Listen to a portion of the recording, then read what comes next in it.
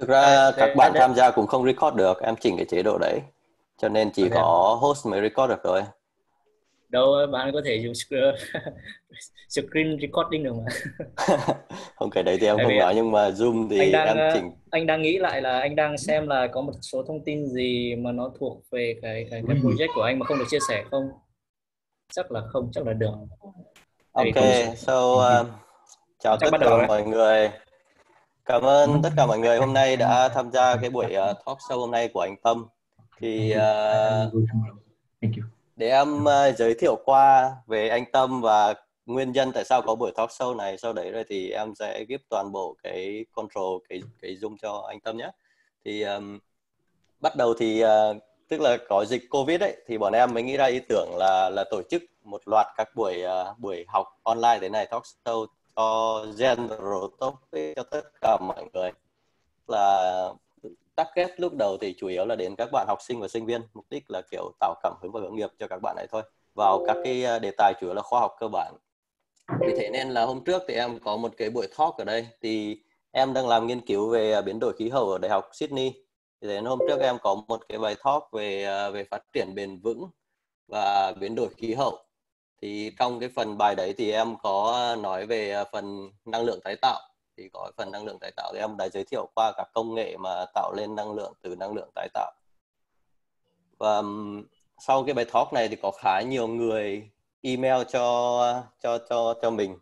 À, và họ bảo là họ muốn có những cái bài giảng chuyên sâu hơn. Tức là những cái bài giảng nào đấy mà nó nó mang tính học thuật cao hơn để để mọi người có thể được học nhiều hơn từ các bài giảng đấy. Đấy lý do tại sao mà mình liên hệ anh Tâm. Mình thì biết tới ờ, biết tới anh Tâm từ ờ, diễn đàn trí thức trẻ Việt Nam năm ngoái ở Hà Nội. Thì nhờ cái diễn đàn đấy mà biết tới anh Tâm và anh Tâm thì ờ, hiện nay là đang là đang là tiến sĩ à, đang làm postdoc tại trường Đại học Công nghệ Na Giang ở Singapore. Anh Tâm tốt nghiệp Đại học Công nghệ Đại học Quốc gia Hà Nội năm 2012, sau đấy thì uh, tốt nghiệp tiến sĩ ngành uh, khoa học vật liệu nhỉ? Từ đại học uh, cũng cùng là từ NTU vào năm 2017 À, nghiên cứu của anh Tâm Anh Tâm thì có hơn 20 bài báo khoa học và một bằng sáng chế. Và nghiên cứu của anh Tâm chủ yếu là về về năng lượng tái tạo chủ yếu vẫn là về vật liệu lưu trữ hay là chuyển đổi năng lượng hoặc là các vật liệu xúc tác và các phản ứng điện hóa và các vật liệu cấu trúc nano. Thì bài nói của anh Tâm hôm nay thì chủ yếu tập trung, sẽ tập trung vào à, vào thách thức, tiềm năng và thách thức của năng lượng tái tạo và nhất là năng lượng tái tạo ở Việt Nam. Thì nên mình sẽ give cái room cho anh Tâm nhé. Mình tắt cái sharing. Ok. Ok, so welcome anh Tâm. Cảm ơn anh Tâm đã đồng ý tham gia buổi nói ngày hôm nay anh có thể share đi um, ok ok rồi vâng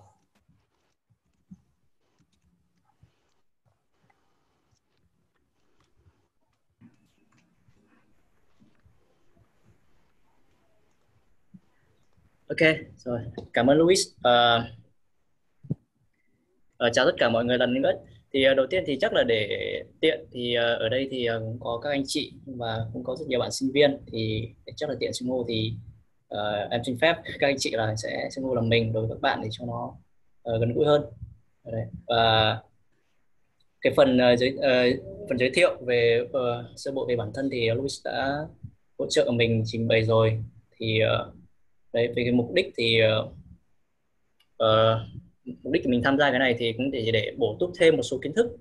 Và cũng như ờ, như Louis giới thiệu là mình làm về khoa học vật liệu tức là chuyên sâu về khoa học vật liệu và làm thiên về hóa.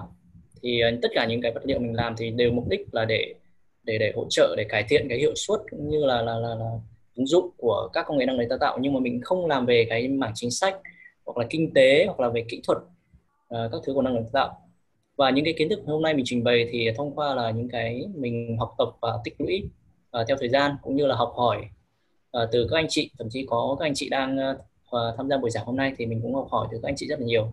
Và cố gắng tổng hợp lại để chia sẻ với mọi người. Và hy vọng chúng ta là sau cái buổi này sẽ rút ra được những cái bài học cũng như là những cái gọi là có thể thảo luận thêm để để, để uh, trong bối cảnh Việt Nam chúng ta có thể dụng các thứ như nào. Thì cái đây là mục đích chung và cũng uh, uh, mục sơ bộ khi khi mà mình trình bày cái bài nói này và cũng là cái nội dung chính ở như cái slide số 3 mình chia sẻ ở đây. Thì đầu tiên mình sẽ uh, các công nghệ tức là các nguyên lý hoạt động của các công nghệ mình sẽ không đi lại nữa tại vì Luis đã, đã giảng rồi và thậm chí thì mọi người đây phần lớn mọi người đều biết và có thể tìm ở trên mạng để các công nghệ mình sẽ tập trung vào là phân tích chuyên sâu thêm về cái những cái gọi là ừ, ưu điểm và nhược điểm cả về mặt kỹ thuật rồi thì cả về mặt kinh tế của từng cái công nghệ năng lượng tái tạo. Sau đó thì mình sẽ đưa ra một vài ý kiến uh, trong bối cảnh ở Việt Nam. Mình sẽ đưa ra một số bình luận ý kiến cũng như là uh, đề nghị trong cái bối cảnh Việt Nam. Thì tất cả nội dung bài nói thì phần lớn là uh, dựa trên những câu hỏi mọi người đã đặt ra. Thì tất cả mọi người là trong file đăng ký thì đã đặt câu hỏi và nhiều câu hỏi rất là hay. Thì mình cũng đã cố gắng dành thời gian để để để, để tổng hợp các câu hỏi và cũng như là tìm các câu trả lời. Uh, làm thế nào để gọi là có thể dễ hiểu nhất và mọi người đều sau buổi hôm nay để thì đều có thể hiểu được. Ok thì uh, mình sẽ bắt đầu với cả một cái bối cảnh uh, cái cái cái tức là một cái bối cảnh chung về cái sử dụng năng lượng. Thì uh, như mọi người biết thì cái slide này thì uh, thông thường là mình trình bày khi mình đi, đi trình bày bất kỳ một hội nghị nào thì nó sẽ bắt đầu từ cái slide này thôi. Thì mọi người biết cái mối liên hệ giữa cái nhu cầu năng lượng và cũng như cái lượng phát thải CO2 thì uh, người rất dễ hiểu thì thì ờ, hiện nay chủ yếu cái năng lượng mà chúng ta sử dụng trong hàng ngày trong công nghiệp giao thông vận tải các thứ thì vẫn là từ nguồn nhiên hóa thạch và đi kèm với đó.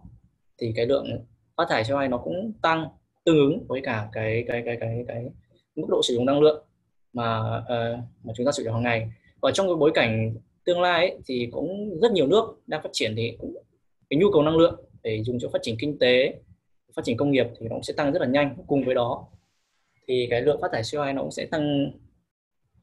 Là rất, ờ, rất là nhanh ở đây thì ờ, một số số liệu mình cũng đưa ra từ các báo cáo về năng lượng từ các diễn đàn báo cáo năng lượng lớn ở trên thế giới. Uh, thì mặc dù là còn rất là nhiều tranh cãi về cái chuyện là cái sự hiệu ứng nóng lên toàn cầu cái mối liên hệ giữa hiệu ứng nóng lên toàn cầu và cũng như cái khí phát thải cái tức là và, và cái khí thải CO2 thế là một số nhà thậm chí một số nhà khoa học không tin là cái thường nóng lên toàn cầu là do cái CO2 này mà có thể do nhiều yếu tố khác. Tuy nhiên chúng ta không thể phủ nhận được là là cái nhiệt độ tăng của trái đất thì nó cũng tuyến tính tương ứng với cả cái lượng phát thải CO2 uh, à, qua nhiều thế kỷ mà chúng ta do các hoạt động công nghiệp cũng như hoạt động của con người tạo ra. Thì cùng với đó thì rất nhiều cái ừ, hiệu ứng thời tiết cực đoan cũng xảy ra và ngày càng ngày nó cái quy mô cũng như mức độ hủy hoại của những cái hiệu ứng thời tiết cực đoan đó nó nó nó nó càng lớn và ảnh hưởng rất nhiều đến đời sống của con người cũng như là đời sống của của của, của toàn bộ các sinh vật trên trái đất.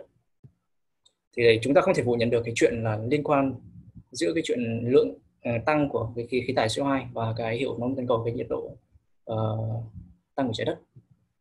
Ok thì uh, uh, trong bối cảnh đó thì bây giờ một có một cái rất là quan trọng đó là làm thế nào để chúng ta vẫn đảm bảo được cái an ninh năng lượng đồng thời giảm thiểu được tối đa cái tác động tiêu cực của cái việc chúng ta sử dụng năng lượng. Thì ờ, mình có chia sẻ ờ, mình mình ở trong cái slide 6 này thì ờ, mình có tổng hợp có hai cái hướng chính ở trên thế giới hiện nay.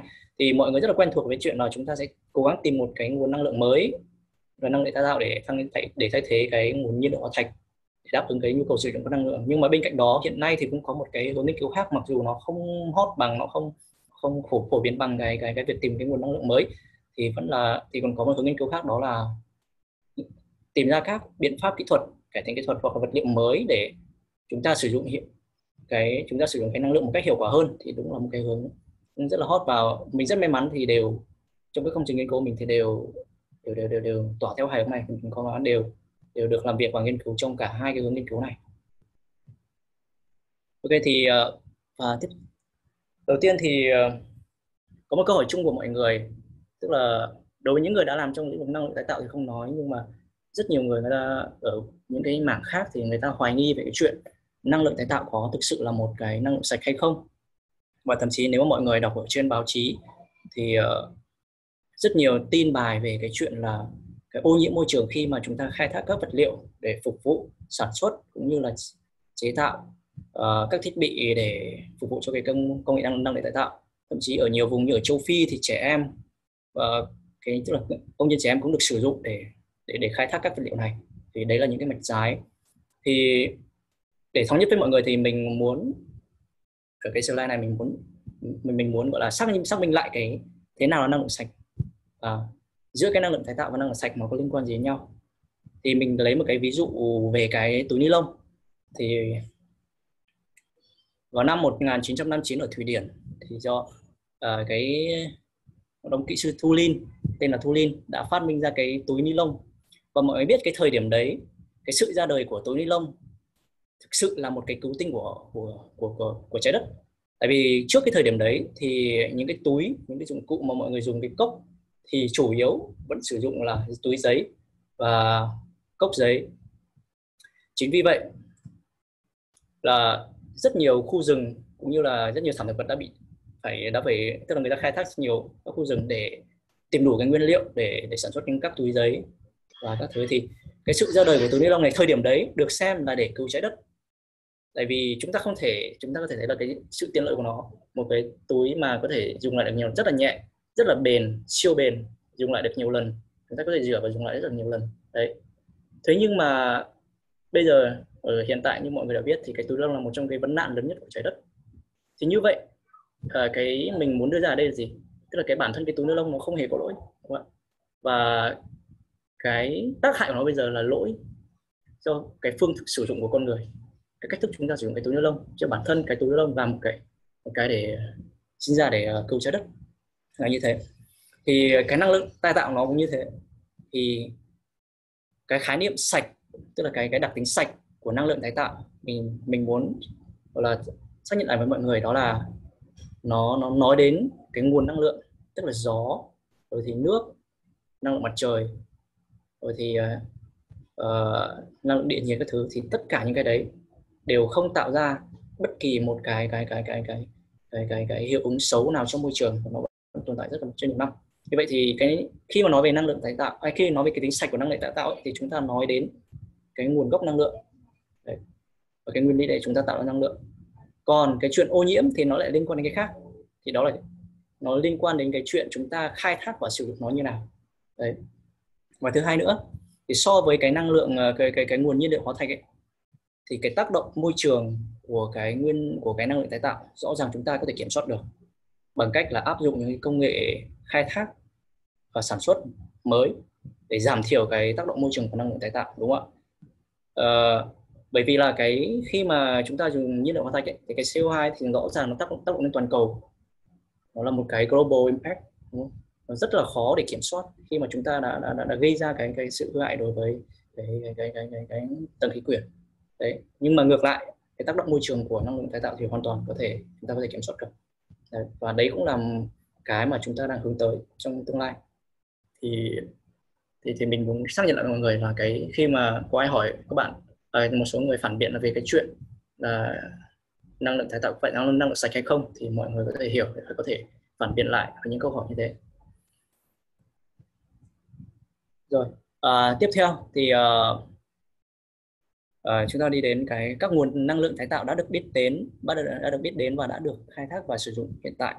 Thì uh, có khá là nhiều thì mình tổng hợp đây những cái nguồn năng lượng mà có thể là nội xem là phổ biến nhất và đã đã, đã có những cái ứng dụng um, có những cái ứng dụng trong thực tiễn thì gồm có thủy điện ờ, mặt trời gió năng lượng từ đại dương gồm có thủy triều sóng năng lượng địa nhiệt cũng như là năng lượng sinh khối biomass.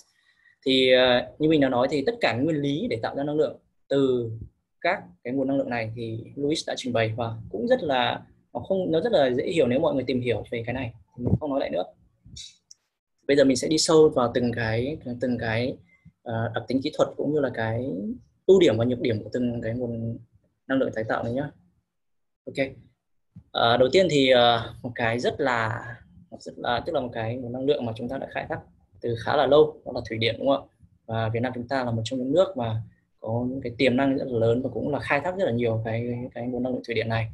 Thì ờ, rõ ràng thì nó là nó chuyển đổi từ thế năng của nước động năng của nước thành năng lượng điện thông qua cái tuốc pin. Cái nguyên lý đơn giản thế thôi mình không muốn đi đi, đi sâu vào đây.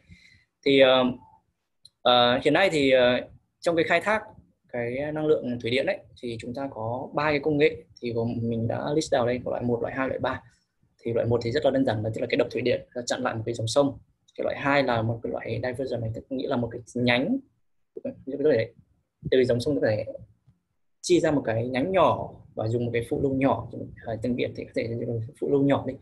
Một cái đường ống nhỏ để tạo ra à, để để để dẫn nước từ đấy và cũng thể uh, tạo ra năng lượng từ đấy cái loại thứ ba thì ờ, là một cái loại uh, công nghệ khá là mới hiện nay đó là pump storage tức là uh, chúng ta sử dụng năng lượng dư thừa trong hoặc là thời điểm uh, cái thời mà cái, cái thời điểm thấp điểm để bơm cái lượng nước ngược lại trên thượng nguồn sau đấy sẽ phát lại điện trong cái thời điểm cao điểm.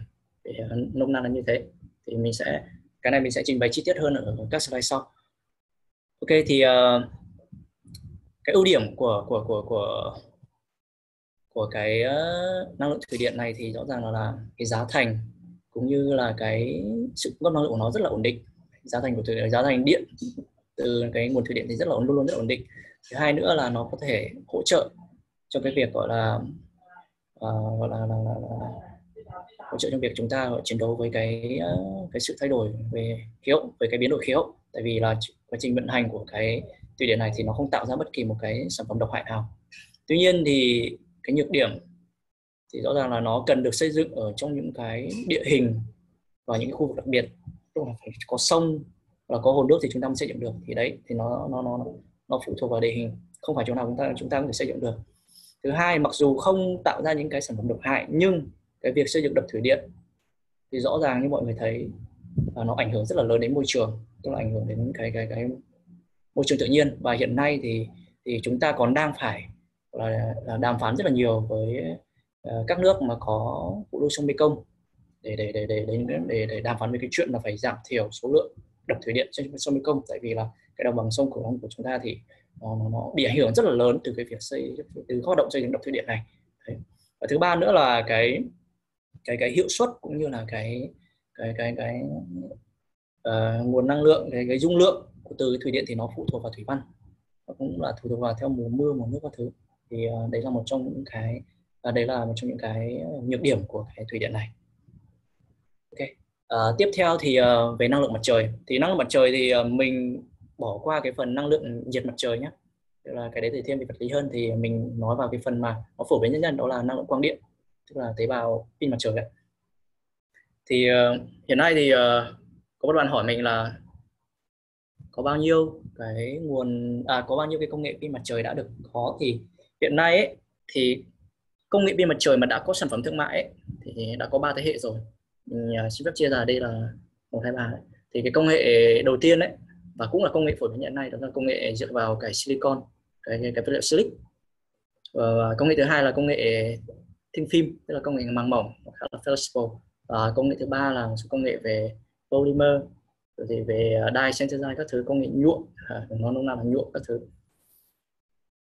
thì mình cũng không ờ, đi chi tiết về các liệu uh, về về các công nghệ này. Nhưng mà ok. Nhưng mà mình muốn chia sẻ với mọi người đây.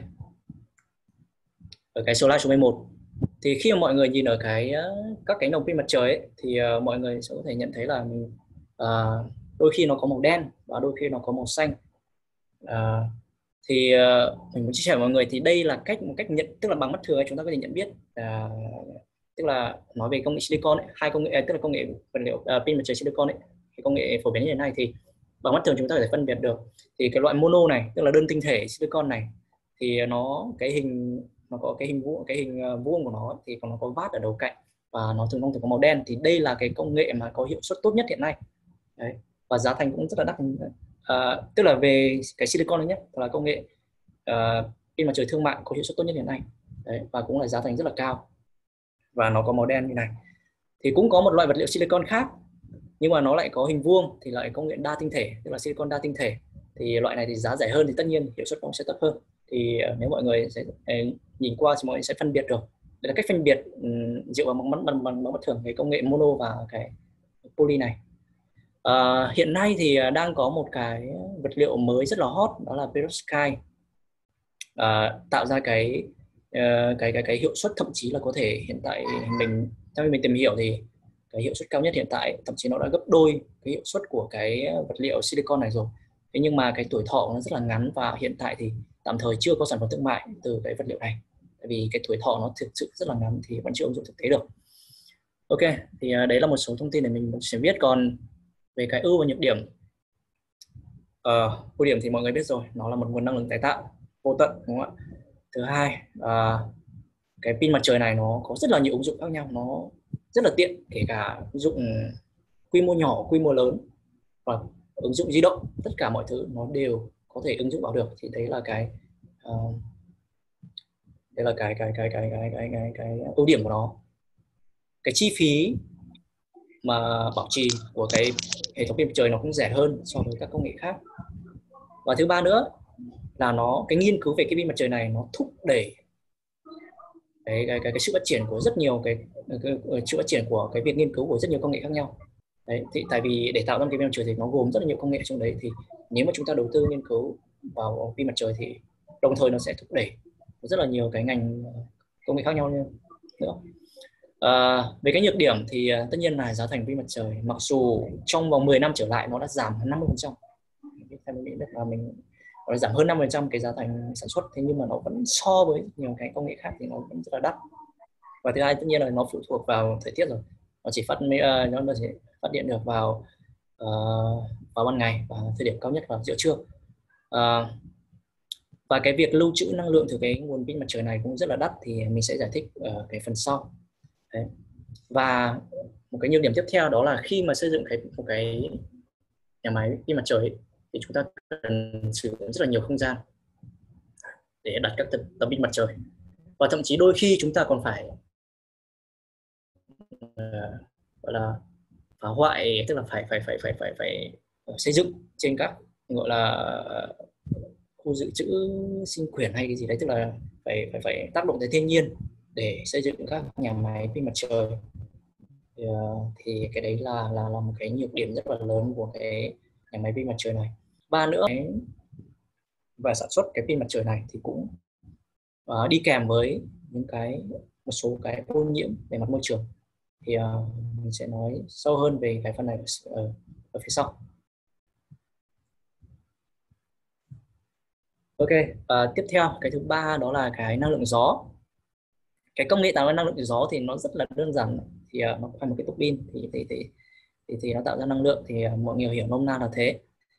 à, hiện nay thì uh, năng lượng gió được xem là cái nguồn năng lượng một trong nguồn năng lượng rất là lớn và thậm chí có thể lớn hơn cả uh, cái nguồn năng lượng từ từ từ từ từ mặt trời. Uh,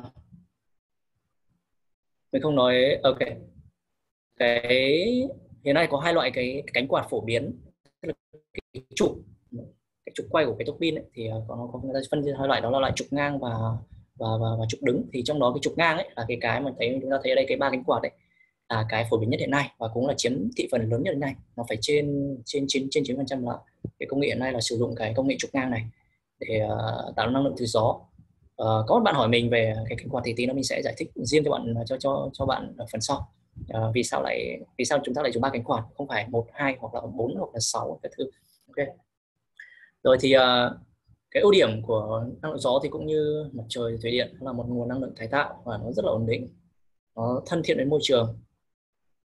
Và so với cái pin mặt trời ấy thì cái việc xây dựng cái, cái các các các cái tua pin gió này thì nó yêu cầu cái cái diện tích xây dựng nó ít hơn so với cái ờ, nếu mà thiết kế trên cùng một đơn vị ờ, công suất thì nó sẽ yêu cầu cái cái cái, cái diện tích xây dựng nó bé hơn so với cái pin mặt trời. À, và cái việc vận hành thì cái chi phí vận hành thì nó cũng rẻ hơn. À, nhược điểm thì cái công nghệ gió ấy, thì nó lại khó phán đoán hơn so với công pin mặt trời. Chúng ta biết là ban ngày nó không ổn định nhưng mà chúng ta biết được chúng ta vẫn biết được là ban ngày nó có điện ban đêm nó không. Là tức là nó vẫn dù sao mình tức là thì người ta gọi là gì nhỉ? À, chúng ta phải biết trước được. Còn gió thì thì thì là một cái năng lượng mà khó để nhận biết trước hơn khó để dự báo trước hơn thứ hai thì uh, tất nhiên cái gió bên trời nó cũng rất là đắt nó hiện tại nó vẫn rất là đắt về công nghệ gió này công, công, nghệ năng lượng gió này. Và thứ ba nữa là uh, cái quá trình khai thác và vận hành cái tuốc pin này thì nó cũng sẽ ảnh hưởng đến cái ờ, các loài động vật tự nhiên uh, chủ yếu là chim rơi rồi các thứ. Uh, thứ tư nữa là chúng ta nhìn chiếc ảnh nó rất là đẹp nhưng mà thực chất cái việc cái cái vận hành cái nhà máy điện gió này tức là cái tuốc pin điện gió này nó gây nó rất là ồn và đối với nhiều người thì trông không đẹp trông nó vướng mắt thì đấy là uh, cái, cái cái cái nhược điểm của cái năng lượng gió À, còn một cái nữa mình muốn chia sẻ uh, về cái năng lượng gió này. uh, đối với những người mà trong ngành thì thì chắc mọi người biết rồi, nhưng mà đối với là không cái chuyên ngành này đấy, thì mọi người sẽ thắc mắc là uh, cái onshore tức là cái công nghệ onshore và offshore là gì? Trong trong cái khi mà xây dựng cái nhà đánh máy thì thông thường người ta lại nói về onshore offshore. Thì cái onshore offshore này à, người ta nói về cái cái cái cái, cái, cái nguồn gốc của của của của, của gió. Mình, mình dịch nôm na onshore thì là là công nghệ tức là trong bờ đi. Tức là cái gió tức là công onshore là gió biển đấy. Offshore là gió đất đấy thì cái này là một cái kiến thức uh, hồi cấp 2 mà chúng ta học ấy là vì sao lại có gió đất và gió biển và nó xảy ra như nào chu trình nó như nào. Nguyên nhân thì mọi người biết rồi thì đó là chênh lệch áp suất giữa ban ngày ban đêm ở cái cái cái uh, mặt biển và cũng như là cái cái mặt đất thì tạo ra khi mà chúng ta có áp suất thì tùy thuộc vào cái thời điểm thì chúng ta sẽ có gió đất và thời điểm khác chúng ta có gió biển. Thì cái công nghệ onshore là công nghệ mà khai thác từ cái gió biển này và chúng ta sẽ xây dựng nhà máy ở trên đất liền. Đấy và như chúng ta có thể ở đây thì uh, cái ưu điểm của cái công nghệ onshore thì tất nhiên thì giá nó sẽ rẻ và dễ rẻ hơn tại vì giá thành xây dựng này chẳng vận chuyển các nguyên vật liệu các thiết bị các tua bin gió đến cái nơi lắp đặt nó sẽ rẻ hơn tại vì nó ở trên đất liền. Và cái giá thành để bảo trì nó cũng rẻ hơn đúng không ạ? Thì uh, chúng ta rất là dễ tiếp cận để bảo trì cái nhỏ, nó uh, nhưng mà cái nhược điểm thì à, tại vì ấy, khi mà cái gió biển nó thổi vào đất liền ấy thì nó sẽ tương tác với uh, với cái bề mặt. Và sẽ xảy ra rất nhiều biến động ở đấy. Những bạn nào học về uh, khí động lực các thứ chắc là sẽ biết. Thì nó sẽ tạo ra những cái dao động và cái cái cái cái luồng khí cái cái luồng gió này nó sẽ khó để dự đoán hơn. Và thứ hai nữa là cái việc xây dựng nhà máy ở gần bờ tất nhiên sẽ có nhiều trường hợp là xảy ra là sẽ xây gần khu dân cư và nó sẽ tạo ra những cái tiếng ồn tức là rất là khó chịu đối với những cư dân xung quanh và cũng sẽ gây ra nhiều tác hại hơn đối với cái các loài động vật tự nhiên. Và thứ ba tất nhiên và thứ ba nữa đó là cái nó sẽ tạo ra ít năng lượng hơn vì à, cái gió biển thì thông thường vì nó đã bị cản bởi bởi các ờ, các phần địa hình ở, ở ở bờ biển rồi thì thường cái năng lượng sẽ ít hơn so với cái uh, so với cái offshore. Tức là offshore cái nói thứ hai thì những cái ưu và nhược điểm của cái offshore này thì nó lại ngược lại so với cái onshore kia. Tức là hiệu suất nó sẽ tốt hơn nó nó ổn định hơn và nó sẽ không ảnh hưởng đến hoạt động của con người. Tuy nhiên thì để mà vận chuyển các thiết bị rồi uh, tụ pin các thứ ra để xây dựng cái cái cái cái cái offshore wind turbine này okay, nó sẽ tốn chi phí hơn rất là nhiều. Do vậy thì và kể cả bảo trì thì sẽ tốn hơn chi phí rất nhiều so với công nghệ onshore. Thì đấy là một cái thông tin nhỏ để cho mọi người phân biệt. À, cái à, năng lượng thứ tư tiếp theo là năng lượng từ đại dương à, thủy triều. À, thủy triều thì vì sao chúng ta có thủy triều thì mọi người sẽ biết rồi do tác động của mặt trăng với cả với cả trái đất chúng ta. ạ? Thì uh, thì uh, nguyên lý thì nó khá là giống cái thủy điện thôi. Thì chúng ta tận dụng cái khi mà thủy triều lên chúng ta xây dựng cái đập để ngăn cái nước lại và khi mà chúng ta xả đập thì chúng ta sẽ tạo ra năng lượng. Thì đấy là cái cái cái cái, cái nguyên lý cơ bản nó rất là mình mình nói cơ bản nó như thế thôi. Đấy thì nó khá là dễ hiểu. À, về cái ưu điểm ấy thì uh, cái công nghệ uh, năng lượng từ thủy triều ấy, thì nó thứ nhất là nó dự đoán được. Nó, cái chu kỳ của thủy triều thì thì thì nó khá là ổn định và công nghệ này thì nó khá là hiệu quả về mặt là truyền tải à, chuyển từ năng lượng nước này thành ra năng lượng điện. Ba nữa là cái tuổi thọ thì nó cũng rất là cao so với các công nghệ năng lượng khác. Đấy, khi mà chúng ta sẽ đập cái cái đập thủy triều này thì nó cũng cái tuổi thọ cũng rất là cao. Và đồng thời đối đấy thì nó cũng thể giúp cái công nghệ mà xây dựng cái đập thủy điện à, đập thủy triều để mà để tạo ra năng lượng này thì đồng thời nó cũng sẽ giúp bảo vệ cái bờ biển chống sạt lở các thứ. Thì đấy là những cái ưu điểm của, của, của cái công nghệ à, năng lượng thủy triều này. Tuy nhiên thì có rất nhiều nghiên cứu đã chỉ ra rằng là xây dựng cái đập thủy điện này nó cũng ảnh hưởng đến cái môi trường tự nhiên của các loài uh, thủy sinh vật ở, ở, ở gần cái cái nhà máy uh, năng lượng này. Thứ hai nữa nó tất nhiên thì nó cũng là một nguồn năng lượng nó không ổn định tức là nó bị ngắt quãng nó không lúc nào không phải lúc nào cũng thủy triều đấy. Và thứ ba thì chi phí xây dựng thì nó cũng phải tương đương với thủy điện nó cũng rất là đắt. Uh, uh, rất là đắt đỏ để xây dựng cái cái cái cái khu đập này đặc biệt là đối với cái khu vực mà cái địa hình nó trải dài. Và cái địa hình bờ biển nó, nó trải dài thì chúng ta cũng rất là tốn rất là nhiều uh, chi phí để xây dựng cái cái đập này. À, tiếp theo nữa một cái năng lượng khác từ đại dương nữa đó là năng lượng sóng. Thì ở đây thì uh, mình cũng giới thiệu thêm ừ, mọi người thông tin về cái công nghệ hiện nay chúng ta đang có thì có ba loại công nghệ để tạo ra cái năng lượng từ sóng này thì hai công nghệ đơn giản nhất thì đó là channel với cả cái công nghệ cột ừ, cột nước. Thì nguyên lý thì mọi người nhìn vào hình thì nó cũng khá là đơn giản thôi. Ví dụ công nghệ channel thì uh, khi mà nước nó nó, nó okay. chắc là mọi người sẽ nhìn nhìn được cái pointer trên cái chuột của mình.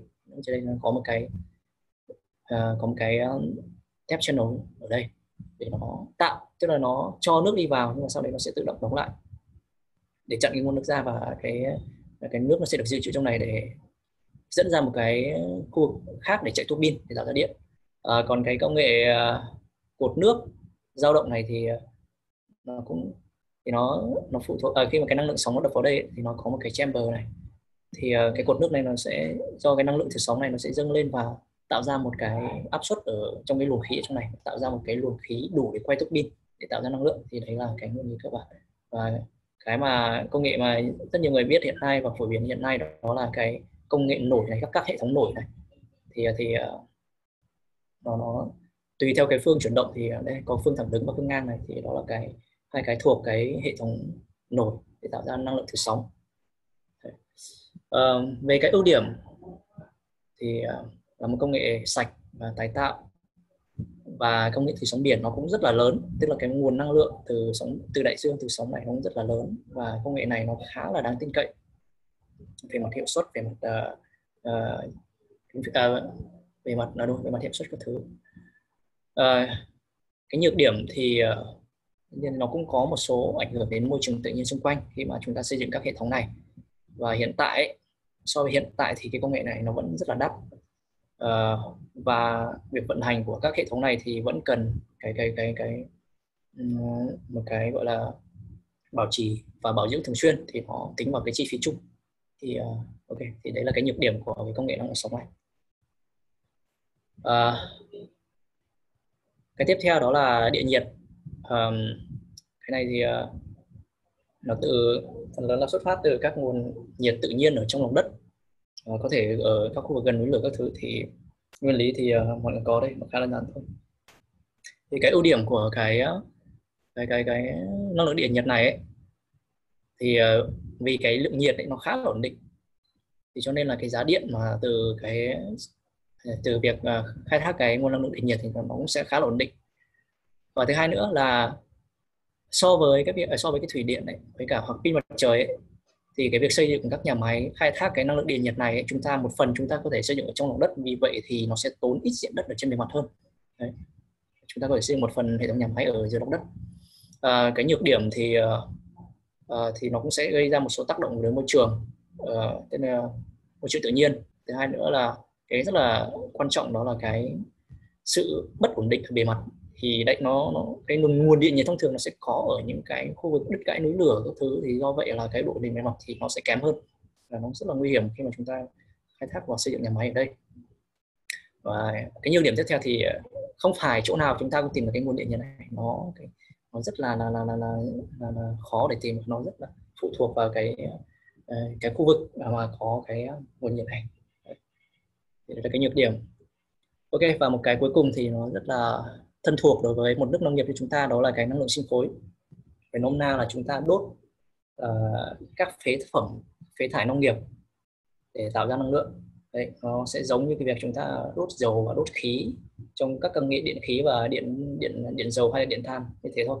Đấy. thì uh, về cái ưu điểm ấy ưu điểm là uh, thứ nhất là nó là các nó là công nghệ này là công nghệ carbon trung tính. Carbon uh, trung tính tức là gì?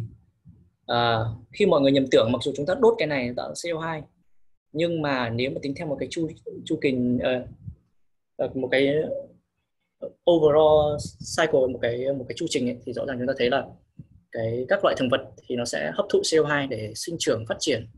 Đấy. Và khi mà chúng ta khi mà chúng ta thu hoạch và chúng ta đốt nó ngược lại thì cái lượng CO2 thì người ta, người ta tính toán là cái lượng CO2 này nó sẽ không bị dư ra và chúng ta không tạo ra thêm bất kỳ lượng CO2 này thậm chí có thể ít hơn. Như vậy thì chính vì vậy chúng ta là đây một loại năng lượng sạch. Đấy. Uh, thứ cái thứ hai nữa là cái ưu điểm thứ hai thì tất nhiên là nó sẽ rẻ hơn các nguồn năng hóa thạch rất là nhiều. Thì thực, thực chất thì nó là những cái thứ phế phẩm bỏ đi thôi. Thì chính vì thế nó sẽ tạo ra thậm chí là tạo ra những cái nguồn thu bổ sung uh, cho bà con nông dân. Đấy. Và thứ thứ tư nữa là tất nhiên thì nó sẽ giảm lượng cái lượng rác thải ở trên bề mặt ở ờ, ờ, mà tại vì rất nhiều nơi thì chúng ta là như vậy những cái khu vực ở đồng bằng Ờ, xung quanh Hà Nội chúng ta thấy là bà con thông thường sẽ đốt cái này đi tạo ra rất là ô nhiễm. Thì nếu chúng ta tận dụng được cái nguồn này thì rõ ràng sẽ đỡ giúp chúng ta là tận dụng được vừa tận dụng được năng lượng vừa tăng thêm nguồn thu và giảm được cái lượng rác thải chúng ta tạo ra trong quá trình sản xuất nông nghiệp. À, cái nhược điểm thì rõ ràng là cái công nghệ này thì hiệu suất nó kém hơn rất là nhiều so với tại vì cái cái cái cái, cái cái lượng nhiệt mà tạo ra từ cái phế phẩm này nó sẽ kém hơn rất nhiều khi mà chúng ta sử dụng uh, so với khi chúng ta sử dụng uh, các nhiên liệu hóa thạch. Và uh, thực chất là khi mà đốt cái này thì nó cũng không hoàn toàn là là là là, là sạch. Tại vì uh, cái quá trình quá trình khai thác và sử dụng cái uh, nguyên liệu sinh khối này ấy, khi chúng ta đốt ấy, thì ngoài cái CO2 ra nó sẽ tạo ra một số khí độc khác như CO thứ chẳng hạn. Và cái thứ ba nữa ấy, thì cái rất là nguy hiểm đó đấy. Tức là cái việc mà sử dụng cái nồi sinh khối này có thể nó sẽ gây ra cái chuyện là chúng ta đi đốt rừng để để để, để cháy năng lượng. Thì nó vẫn là uh, tức là tức là khai thác rừng tức là để tìm nguyên liệu để sử dụng cho các nhà máy này. Thì đấy một cái nhược điểm nữa. À, và thứ tư nữa là cái sự cái xây dựng cái việc xây dựng các nhà máy uh, để sử dụng cái năng lượng sinh khối này nó cần rất là nhiều không gian. Như chúng ta có thể thấy cái nhà máy hiện đây cái nhà máy ở ở Anh với công suất là 740 MW thì chúng ta thấy rất là lớn. Và nó hiện tại cũng là cái nhà máy theo mình biết thì đây là cái nhà máy uh, năng lượng sinh khối lớn nhất trên, trên thế giới hiện nay. Rồi thì như vậy là trong phần rồi mình đã cùng với mọi người là đi qua tức là tìm hiểu qua cái các ưu nhược điểm từng cái của của cái của cái uh, năng lượng tái tạo và cái điểm chung của, của cái của những cái này là gì? Thứ nhất là đấy điểm chung đó là không ổn định. Rồi thì nó không hoàn toàn nó không hoàn toàn gọi là thân thiện với môi trường. Nếu thì nếu mà chúng ta khai thác và sử dụng nó không hiệu quả đấy. Và thứ tư thứ ba nữa là giá thành. Đấy. thì trong phần tiếp theo mình sẽ uh, đưa ra một số ý kiến tức là một số đề nghị và cũng như một số giải pháp về mặt kỹ thuật nhé. Một số giải pháp về mặt kỹ thuật để làm thế nào chúng ta có thể sử dụng cái năng lượng tái tạo một cách hiệu quả hơn và tạo ra nhiều tức là hiệu quả kinh tế hơn cả về mặt hiệu suất về mặt kỹ thuật cũng như hiệu, hiệu suất về mặt kinh tế. Thì uh, ok. Thì bốn cái cái cái cái cái cái hướng bốn cái hướng này là như cái slide 18 mình chỉ ra ở đây. Thì cái là mình tổng kết lại uh, thông qua cái kinh nghiệm nghiên cứu của mình cũng như là học hỏi từ các chuyên gia. Thì uh, mình có thể kết hợp nó à, mình mình, mình uh, đã chia ra thành bốn cái cái cái cái cái cái giải pháp. Thứ nhất đó là về uh, energy storage là lưu trữ năng lượng. Thứ hai là kết hợp các nguồn năng lượng energy mix. Thứ ba là chuyển đổi năng lượng energy conversion. Và thứ tư là kết hợp các công nghệ. Thì đấy là cái bốn bốn cái hướng giải pháp về mặt kỹ thuật chúng ta có thể áp dụng để để để để, để khai thác và sử dụng cái nguồn năng lượng tái tạo một cách hiệu quả hơn. Ok và bây giờ mình sẽ đi vào từng phần đi vào chi tiết từng phần. Và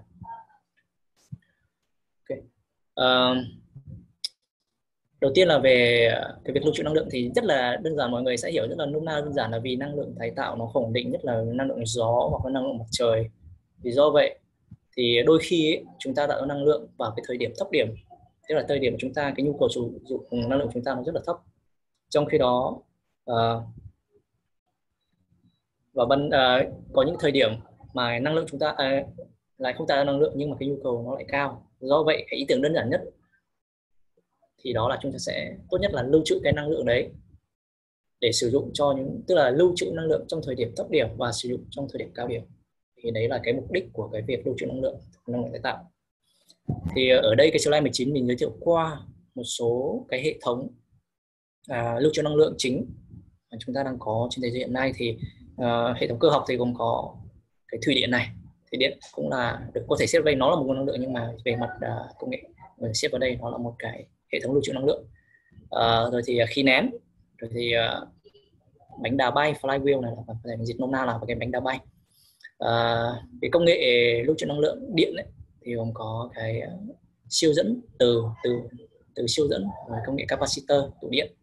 À, à, cái công nghệ thứ ba đó là điện hóa thì gồm có super capacitor rồi thì à, các công nghệ light rồi thì là battery pin đúng không thì hiện nay thì đối với cái mặt lưu trữ năng lượng hiệu suất lưu trữ năng lượng ấy, thì rõ ràng cái công nghệ điện hóa và đặc biệt là công nghệ pin thì được xem là hiệu quả nhất hiện nay rồi ok cho nên là mình sẽ đi vào chi tiết vào cái phần công nghệ pin này luôn. À, đợi, ờ, trước khi mình đi vào công nghệ pin thì uh, ok mình sẽ giới thiệu qua có thể một số hình ảnh mọi mọi người xem đây một số cái công nghệ mà hiện nay ngoài cái pin ra là hiện nay chúng ta đang có trên thế giới rồi. Thì uh, đây, thủy điện thì mọi người biết rồi. Compressed air thì uh, một dạng lưu trữ bằng khí nén và có thể xả ra khi mà chúng ta Ờ, để để sử dụng ngược trở lại khi mà chúng ta cần năng lượng. À, công nghệ à, bánh đa bay flywheel và cái công nghệ từ siêu dẫn này thì nó còn rất là mới. À, và hiện tại thì cũng cũng cũng mới chỉ được phát triển ở trong phòng thí nghiệm thôi. Bởi NASA rồi thì một số các công ty ở Nhật các phòng thí nghiệm ở Nhật thì mình cũng có có cơ hội để tìm hiểu qua một số cái bên này thì uh, hiệu suất thì một số cái thì hiệu suất cũng khá là ok nhưng hiện tại thì giá thành nó vẫn rất là đắt và cũng như cái trọng cái khối lượng nó vẫn vẫn rất là lớn. Ờ, cái tụ điện thì ờ, cái tuổi thọ cái cái cái cái, cái, cái thân sạc nó quá ngắn để chúng ta có thể lưu trữ năng lượng. Tại vì cái lưu trữ năng lượng trong cái việc lưu trữ năng lượng tái tạo nó cần một cái ổn định và lâu dài hơn. Ok thì như mình đã nói cái pin cái công nghệ pin ấy, lưu trữ bằng pin thì hiện tại là hiệu suất là cái công nghệ hiệu suất được xem tốt nhất rồi so với các công nghệ khác. À, về pin thì uh, như vậy uh, cái pin dùng một lần thì mọi người biết rằng rất quen uh, rất quen thuộc về với chúng ta rồi và hiện nay thì uh, cái công nghệ pin sạc lại cho rechargeable hay là secondary battery ấy, là cái pin lithium ion này mà chúng ta sử dụng trong điện thoại, laptop rồi thì uh, các vật iPod hay là iPad các thứ tức là các thiết bị cầm tay. Nó quá phổ biến và cái sự ra đời của cái pin lithium ion này nó thực sự là một cái cuộc cách mạng uh, trong cái đời sống của con người. Và cái hiện nay thì nó cũng là được xem là cái loại pin mà có hiệu suất là tốt nhất rồi. Uh, thì chúng thì ờ, vì cái hiệu suất tốt của nó thì uh, các nhà khoa học cũng đã thử nghiệm thử sử dụng tức là chế tạo uh, sử dụng ứng dụng cái uh, pin lithium ion này trong cái việc lưu trữ năng lượng tái tạo. Nhưng mà có một vấn đề ở đây. Nói nôm na là cái năng lượng của cái pin lithium này nó được lưu trữ ở trong vật liệu làm điện cực.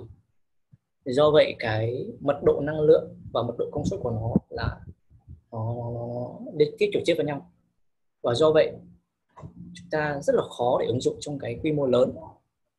Thì cái nhược điểm của nó thì bao gồm là chúng ta cần cái cái cái cái các phương thức bảo vệ. Tại vì cái vật liệu lithium này nó rất là rất là dễ cháy. Và khi mà chúng ta làm cho nó lớn lên để đáp ứng cái cái cái quy mô của cái năng lượng tái tạo thì rõ ràng nó sẽ xảy ra các nguy cơ về mất an toàn.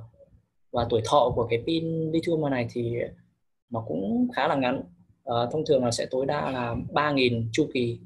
À, uh, chu kỳ sạc và sạc thì tương đương với khoảng mà mình sẽ dự đoán là khoảng 3 đến 5 năm. Hiện tại tuổi thọ của cái pin lithium này khoảng 3 đến 5 năm. Uh, và cái thời gian sạc của cái pin này cũng rất là tốn thời gian. Đặc biệt khi mà chúng ta làm cho nó ở quy mô lớn thì nó còn tốn rất là nhiều thời gian. Đấy. thì như vậy thì ờ, rõ ràng là cái pin lithium ion này ấy, thì nó rất là phù hợp với các công nghệ di động đúng không ạ? Nhưng mà đối với các công nghệ năng lượng tái tạo thì nếu mà chúng ta muốn lưu trữ chúng ta cần một cái thể loại pin khác. Thì mình muốn giới thiệu mọi người về công nghệ uh, pin oxy hóa khử vanadium. Thì đây là cái cái công trình nghiên cứu mà mình đây là công trình nghiên cứu uh, tiến sĩ của mình. Thì uh, ở, ở cái slide 22 này mình giới thiệu qua một chút về uh, cấu trúc uh, cũng như là những cái ưu điểm chính của cái uh, pin mình cứ gọi tắt là pin vanadium đi. Tên của nó khá là dài mà cứ gọi tắt là pin vanadium. Đấy. Uh, khác với cái ờ, pin lithium là chúng ta lưu trữ năng lượng ở trong vật liệu làm điện cực thì cái pin vanadium. Chúng ta lại lưu trữ năng lượng ở trong cái vật liệu là electrolyte. Đấy. ở dạng lỏng. Và cái electrolyte này ấy, tức là cái chất đa điện phân uh, chúng ta có thể lưu trữ ở bên bên ngoài và dung lượng các thứ này tùy thích và chúng ta sẽ bơm ngược trở lại trong cái cell này trong cái pin này trong cái tế bào này để chuyển thành năng lượng điện. Quá trình quá trình uh, quá trình sạc thì nó lại ngược lại chúng ta dùng điện để chuyển đổi cái cái cái cái cái uh, cái trạng thái hóa học của của cái uh, hợp chất vanadium này hợp chất muối vanadium này. Thì bởi vì chúng ta lưu trữ không phải ở trong vật liệu điện cực do vậy cái mật độ công suất và mật độ năng lượng của cái pin này nó hoàn toàn độc lập. Và do vậy nó rất là thích hợp để chúng ta tức là làm ở trên quy mô lớn. Tức là nếu mà chúng ta muốn nó lớn bao nhiêu chúng ta có thể làm được. Và nó đấy chính là cái một trong đặc, đặc tính để giúp nó trở thành cái cái cái gọi là phù hợp nhất trong cái năng lượng tái tạo. Thứ hai nữa một trong cái thứ một cái ưu điểm thứ hai so với cái pin lithium thì cái tuổi thọ của cái pin vanadium này ấy, nó từ 15 đến 20 năm. Thì chúng ta biết là cái cái cái cái pin mặt trời hiện nay tuổi thọ nó yêu cầu tối thiểu phải trên 10 năm đúng không ạ? Thì cùng với đó thì cái pin vanadium này cái tuổi thọ phải 15 đến 20 năm thì nó đáp ứng được cái yêu cầu uh, chúng ta có một nguồn năng lượng ổn định trong thời gian dài. Thì đấy là một cái cái, cái ưu điểm thứ hai. Uh, thứ ba nữa một cái ưu điểm rất là quan trọng. Mọi người biết là cái pin lithium thì quá trình vận hành và sạc và sạc của nó yêu cầu rất chặt chẽ về cái về cái nguồn vào cũng như nguồn ra nguồn phát các thứ. Thế nhưng mà cái pin vanadium này thì nó có khả năng sạc với nguồn không ổn định. Sạc và sạc với nguồn không ổn định với nguồn và với tải không ổn định. Tức là đôi khi chúng ta đang sạc được khoảng 3% thì à, nó bị tức là không không không có năng lượng để để sạc vào nữa thì nó vẫn ok nó vẫn hoạt động trơn tru. Và đấy là một trong cái ưu điểm rất là lớn của cái này. Nó rất là phù hợp với cái tính phi ổn định của cái năng lượng tái tạo đúng không thì à, đấy là một trong cái ưu điểm à, một trong cái ưu điểm nữa. Và thứ tư nữa là cái à, cái chi phí bảo dưỡng thay thế của cái ờ, cái cái cái pin vanadium này so với cái lithium thì ờ, nó rẻ hơn rất là nhiều.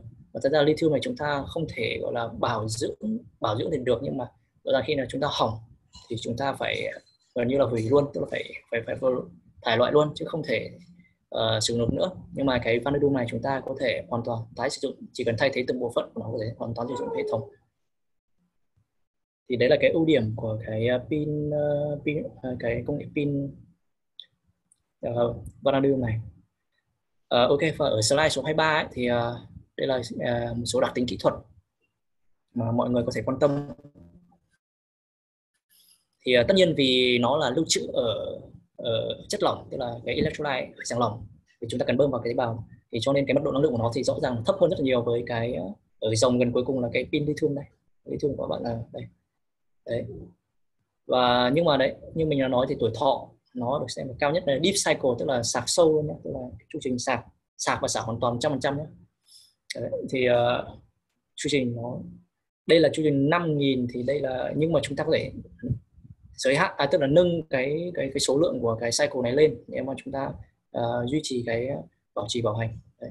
tất nhiên hiệu suất thì nó sẽ không bằng cái pin lithium nhưng tức là cái pin này về mặt hiệu suất này về mặt mật độ năng lượng nó không thể so sánh được với cái pin lithium ion. Nhưng về mặt tuổi thọ về mặt mức độ an toàn khi sử dụng thì nó có những cái đặc tính nó rất là phù hợp với cái nguồn năng lượng tái tạo Tuy nhiên, tất nhiên về so sánh về mặt một số mặt thì nó không bằng nhưng mà nó lại là cái hiện tại.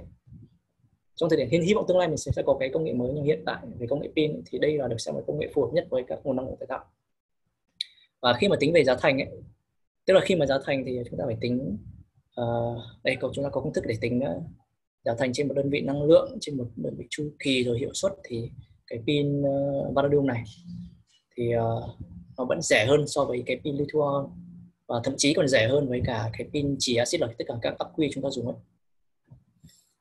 À, tuy nhiên này thì cái công nghệ pin vanadium này thì hiện tại nó vẫn đang ở cái giai đoạn khởi đầu và có một cái điều đáng có một điều đáng buồn đó là cái nguồn vanadium thì rõ ràng so với nguồn lithium trên trái đất ấy, thì nó ít hơn rất là nhiều và giá thành nó đắt hơn thì và hiện tại giá thành của cái pin ờ, vanadium này nó vẫn rất là đắt. Và mình sẽ nói về cái chuyện kinh tế bài toán kinh tế này ở cái phần sau khi mà chúng ta tích hợp với cả cái mặt trời. À, đấy, và hiện tại thì ờ, cho nên là hiện tại cái công nghệ pin thì rõ ràng cái nguyên lý cái thứ đã có rất là gọi là người ta đã xuất bản rồi. Nhưng mà các công trình nghiên cứu về cái pin này thì nó vẫn đang được tiếp tục để mục đích là giảm thiểu cái ờ, giảm cái giá thành này tăng hiệu suất giảm giá thành. Đấy, tăng cái độ ổn định. Thì uh, đấy là lý do vì sao mà nhiều người hỏi mình là cái công nghệ pin này nó đã có từ lâu tại sao uh, có từ trước và cái nguyên lý nó đã nó đã rất là phổ biến rồi rất là rõ ràng rồi thì mọi người vẫn tiếp tục nghiên cứu. Thì đấy là cái mục đích nghiên cứu. Thậm chí cái pin lithium bây giờ vẫn đang được nghiên cứu rất là nhiều ok thì ờ, ở đây thì ờ, mình ờ, cái slide này thì mình có trình bày ở một cái buổi không phải một buổi hội nghị không phải một buổi hội nghị là một cái chương trình làm việc với cả event ở Việt Nam. Theo mình giới thiệu cái pin vanadium tại vì hiện nay thì cái này so với ở trong Việt Nam thì rất là mới. À, thì mình có giới thiệu một số cái ứng dụng tiềm năng của cái pin vanadium này. Thì đầu tiên thì đó chỉ, uh, cái ứng dụng mà so với tức là chúng ta biết là cái lưới điện của Việt Nam hiện nay chúng ta rất là yếu và khi mà chúng ta tích hợp cái pin cái hệ các nhà máy điện tái tạo ấy, như là pin mặt trời gió thì cái sự tranh lệch giữa cái chuyện là uh, chúng ta có một cái hệ thống lưới điện yếu và cái chuyện phi ổn định của cái nguồn năng lượng tái tạo nó tạo ra một cái conflict rất là lớn và nó sẽ rất là dễ xảy ra ờ, những cái những cái tai nạn hoặc những cái có thể làm hỏng lưới điện thứ.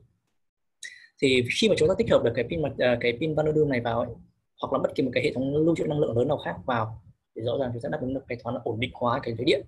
Thì đây là một trong những cái ứng dụng tiềm năng nhất uh, uh, trong cái chuyện gọi là là, là, là, là tích hợp giữa cái lưu trữ năng lượng và cái nguồn phát của năng lượng tái tạo.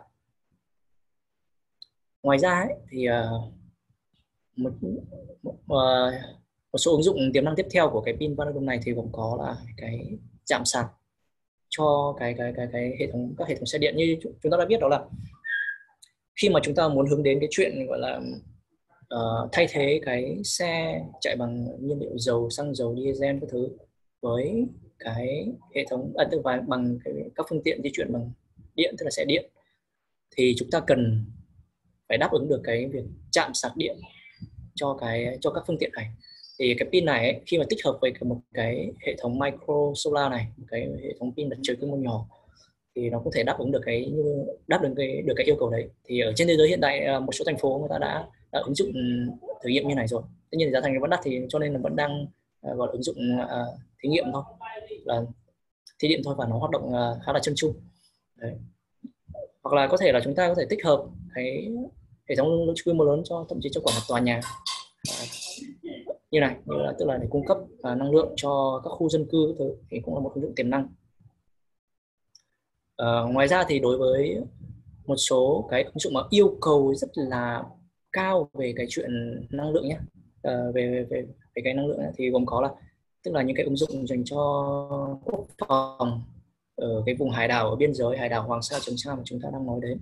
Thì thì uh, rõ ràng ngoài đấy thì chúng ta không thể kéo lưới điện ra đấy được và để đảm bảo được là chiến sĩ và bà con có thể yên tâm có thể có đời sống tốt hơn để uh, để để cái công tác bảo vệ chủ quyền cho nó tốt hơn thì rõ ràng là cái việc mà Ừ. đưa ra những cái ứng dụng tạo ra năng lượng cho bà con để sử dụng nó hiểu con để cải thiện đời sống cho chiến sĩ. Và cũng như bà con thì thì, thì thì rõ ràng là cái pin này cũng là một ứng dụng. Và hiện tại thì ờ, trong một số dự án mình làm Việt Nam thì cũng có đã có những cái liên hệ có những ý tưởng để đưa ra để để đưa những cái pin này vào hệ thống pin mặt trời ra cái vùng biên giới và hải đảo. Và thứ tư nữa là có thể là những cái khu vực uh, những cái ứng dụng dành cho những cái sân bay hoặc là những cái trung tâm lưu, uh, lưu trữ dữ liệu ấy, những cái nơi mà rất là yêu cầu rất là cao về cái chuyện có một cái nguồn năng lượng backup ổn định để tránh thì đôi khi chúng ta có mất điện. Ví dụ sân bay mà chỉ cần mất điện 5 phút thôi nó rất là nguy hiểm rồi. Thì uh, rõ ràng chúng ta có một cái nguồn năng lượng dự phòng tức là backup ở đây. Thì cái pin này nó cũng thể là một trong những cái uh, đối tượng tiềm năng để để để đáp ứng được cái chuyện đó là duy trì hoạt động của những cái khu vực nhạy cảm những cái khu vực yêu cầu cao về mặt năng lượng như này như sân bay rồi thì các trung tâm lưu trữ dữ liệu các thứ ok. Thì đấy là toàn bộ cái phần nội dung về phần uh, lưu trữ năng lượng. Các nguồn năng lượng tái tạo nhé ngoài các nguồn năng lượng tái tạo. Thì uh, ok thì ở đây ở slide 27 thì mình có giới thiệu uh, mình mình muốn giới thiệu với mọi người đó là một cái công nghệ mà hiện nay ấy, uh, nó đang khá là tiềm năng và uh, được xây dựng ở khá là nhiều nơi. Đó là cái công nghệ kết hợp mà thủy điện quy mô vừa với cái mặt pin mặt trời nổi floating solar này.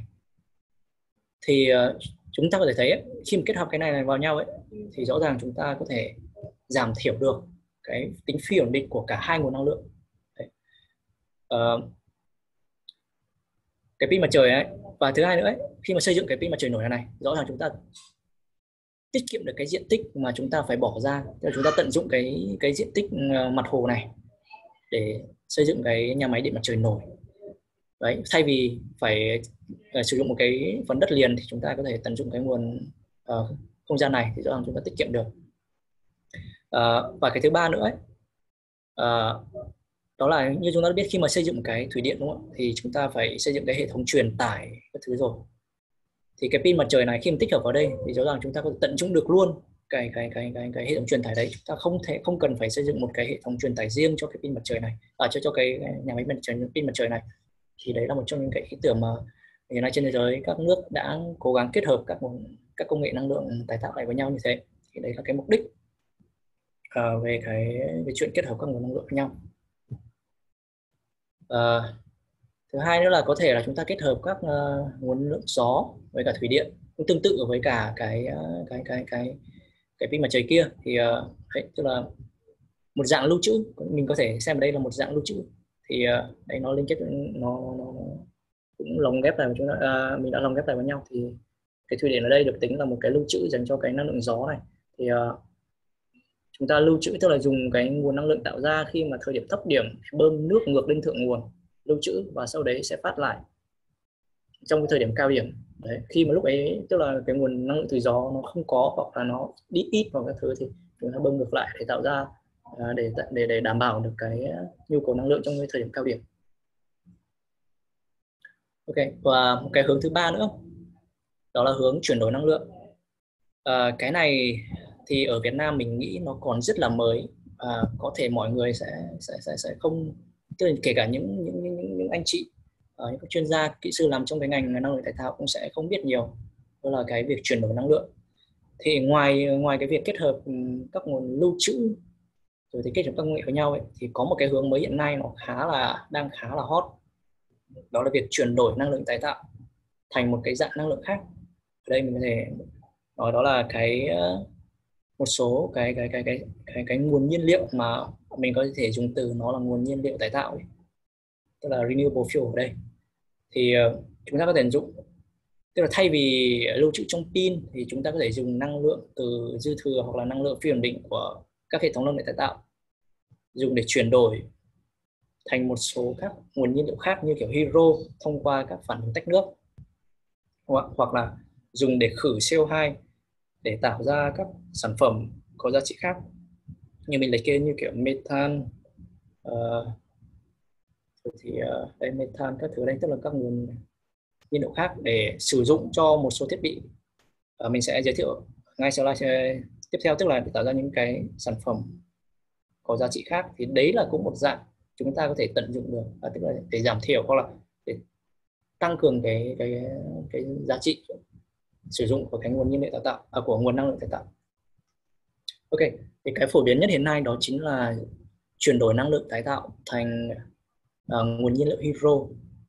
Thông qua phản tách nước thì uh, công nghệ tách nước hiện nay thì chúng ta đang có hai cái đó là công nghệ công nghệ công nghệ tức là công nghệ à, conventional tức là công nghệ truyền thống ấy, thì là dùng trong một cái uh, trong, ờ, trong trong trong môi trường bazơ tức là alkaline và hiện nay thì công nghệ được xem có thể được xem là phổ biến và công nghệ nó tiềm năng hơn. Đó là công nghệ dùng trong môi trường axit à, tách nước trong môi trường axit.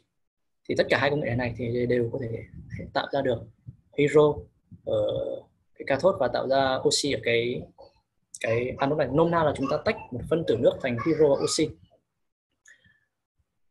ngoài ra thì uh, còn có CO2 đây thì các sản phẩm uh, của CO2 tạo ra thì nó gồm rất là nhiều sản phẩm khác nhau tùy theo cái catalyst tùy theo cái chất ờ, chất xúc tác chúng ta dùng và tùy theo cái cái các điều kiện đặt điện cực và điện thế mà chúng ta tạo ra thì có thể tạo ra những cái sản phẩm uh, khác nhau từ CO2 thì đây là cũng cái rất là hot tại vì là chúng ta có thể tận dụng được luôn cái nguồn CO2 chúng ta phát ra từ từ tức là thải ra trong quá hoạt động công nghiệp và là phương tiện đi lại thì nó giảm thiểu cái lượng CO2 phát ra môi trường đấy, thì đấy là một cái hướng đang rất là hot.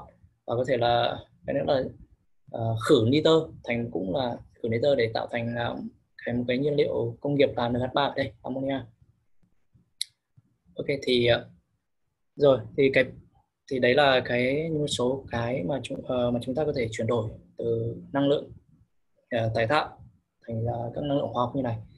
Uh, và cái hero ấy thì nó được sử dụng cho một cái thiết bị tức là để chuyển đấy là lúc mà chuyển đổi nhé thì bây giờ làm thế nào để chuyển đổi ngược lại từ cái nguồn từ các nguồn nhiên liệu tái tạo này thành cái năng lượng điện mà chúng ta muốn dùng? Thì có một cái thiết bị chúng ta gọi nó là fuel cell. Thì cái fuel cell chắc là một số một số bạn học ở ngành ở hóa cũng là ở một số bạn sau học ngành hóa sẽ biết về cái fuel cell này tức là cái tế bào nhiên liệu. Thì cấu trúc nó nó nó, nó cũng khá là đơn giản. Sao mình được nó được mình có thể hiểu nó là một cái động cơ mà năng lượng à, nhiên liệu tiêu thụ không phải là xăng dầu mà là hydro Đấy. và cái cái năng lượng nó tạo ra không phải là động năng tức là không phải nhiệt năng để tạo ra động năng từ như cái động cơ khác mà nó là tạo ra điện năng tức là nó chuyển đổi từ hydro thành điện năng thì đấy là cái đấy là cái, cái cái nguyên lý cũng như là cái ứng dụng của cái tế bào nhiên liệu này thì à, hiện nay thì cái fuel cell này thì à, ngoài ngoài hydro ấy, thì nguyên liệu chính thì nó vẫn hydro nhưng mà uh, uh, methanol mà từ cái CO2 ấy, thì chúng ta cũng thể dùng nguyên liệu thì tùy theo cái điều kiện chúng ta sẽ đặt tùy theo cái cái cái nhiệt độ chúng ta sử dụng. Và tùy theo cấu trúc của cái và vật liệu xúc tác trong cái fuel cell này thì chúng ta có thể uh, sử dụng uh, các nguồn nhiên liệu khác nhau. Nhưng mà tất cả thì nó đều tạo ra năng lượng điện.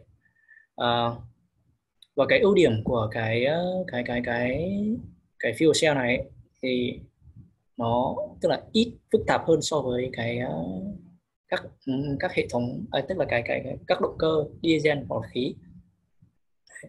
Và à, thứ hai nữa là cái tuổi thọ nó rất là lớn tức là về cơ bản về mặt lý thuyết ấy, cái fuel cell nó có thể hoạt động mãi mãi. Nếu như chúng ta có đủ nguồn nhiên liệu để để để để phục vụ cho nó thì nó có thể hoạt động mãi mãi.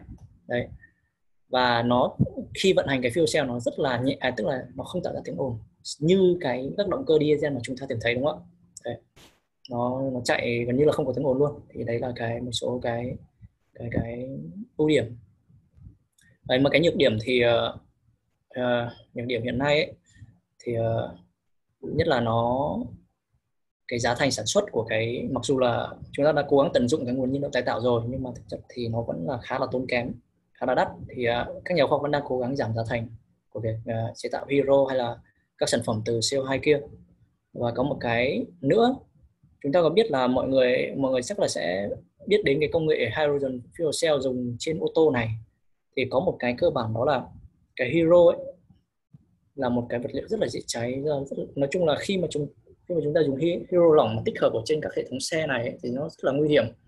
Thì tức là cái vấn đề storage ở trên các phương tiện ấy nó hiện tại nó đang vấn đề vấn đề lớn nhất hiện nay của cái fuel cell này. Tức là tức là nếu mà nó chạy chúng ta chạy không có vấn đề giống sao nhưng mà chẳng may nó lỡ lỡ xảy ra va chạm hoặc là tai nạn ấy, thì tức là cái cái cái cái hậu quả của cái tai nạn này nó rất là lớn tại vì cái bình CO2 nó rất là dễ à cái bình hai hydro nó rất là dễ phát nổ.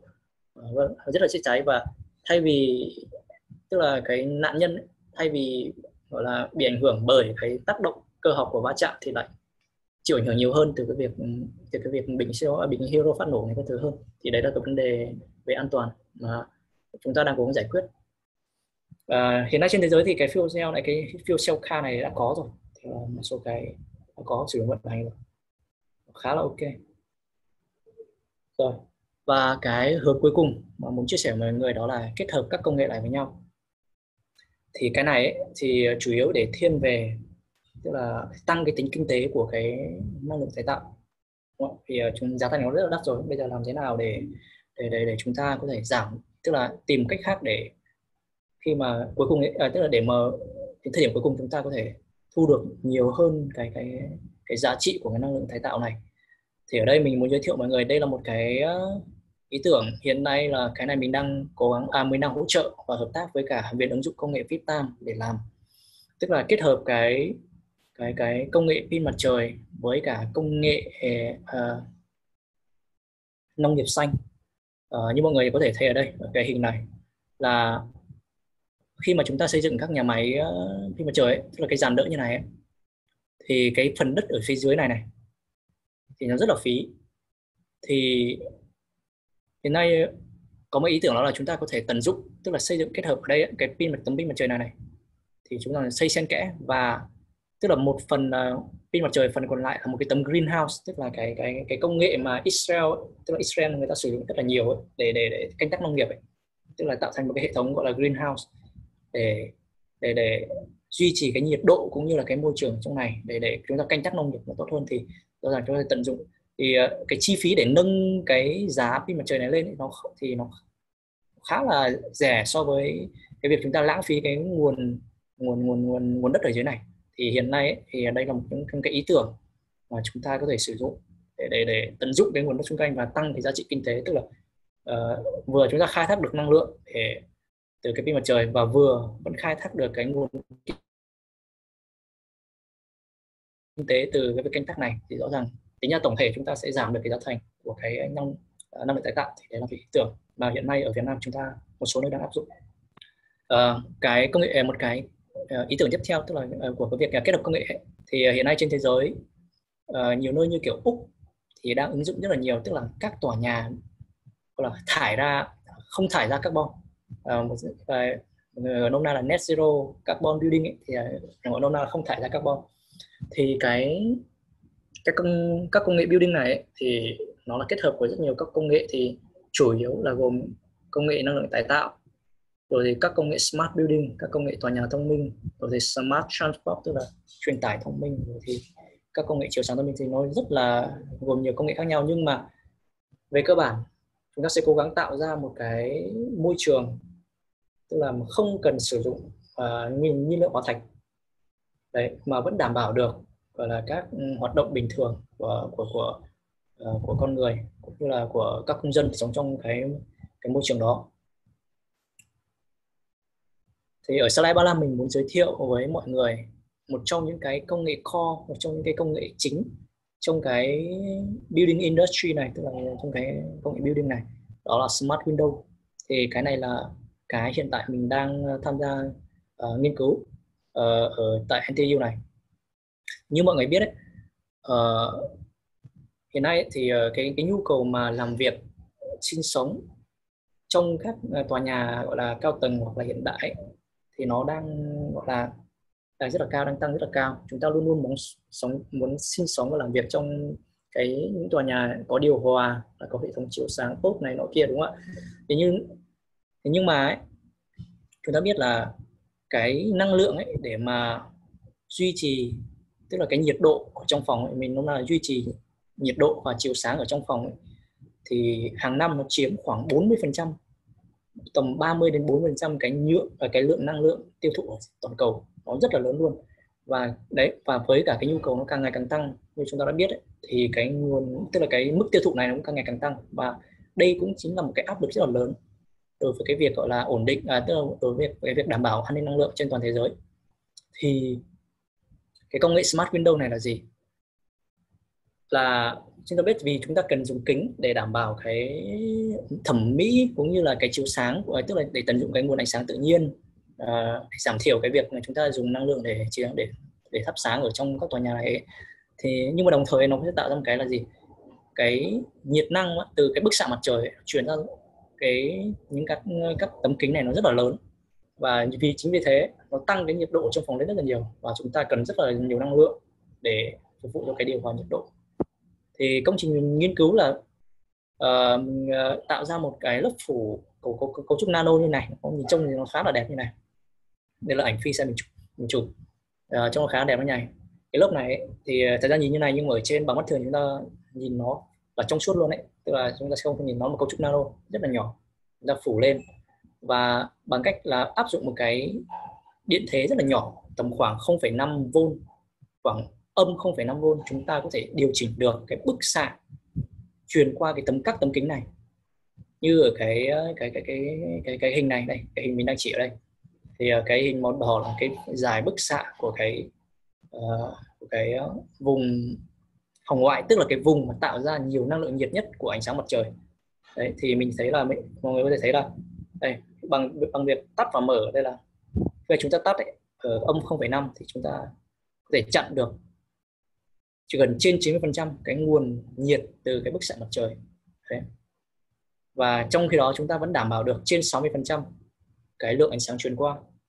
Và đấy là cái cái cái cái cái một cái công nghệ chính trong cái building này. Và hiện tại thì uh, bọn mình cũng đang cố gắng là đưa cái kết hợp với các uh, trung tâm chuyển giao công nghệ để để để đưa ra thực nhất thực chất đấy.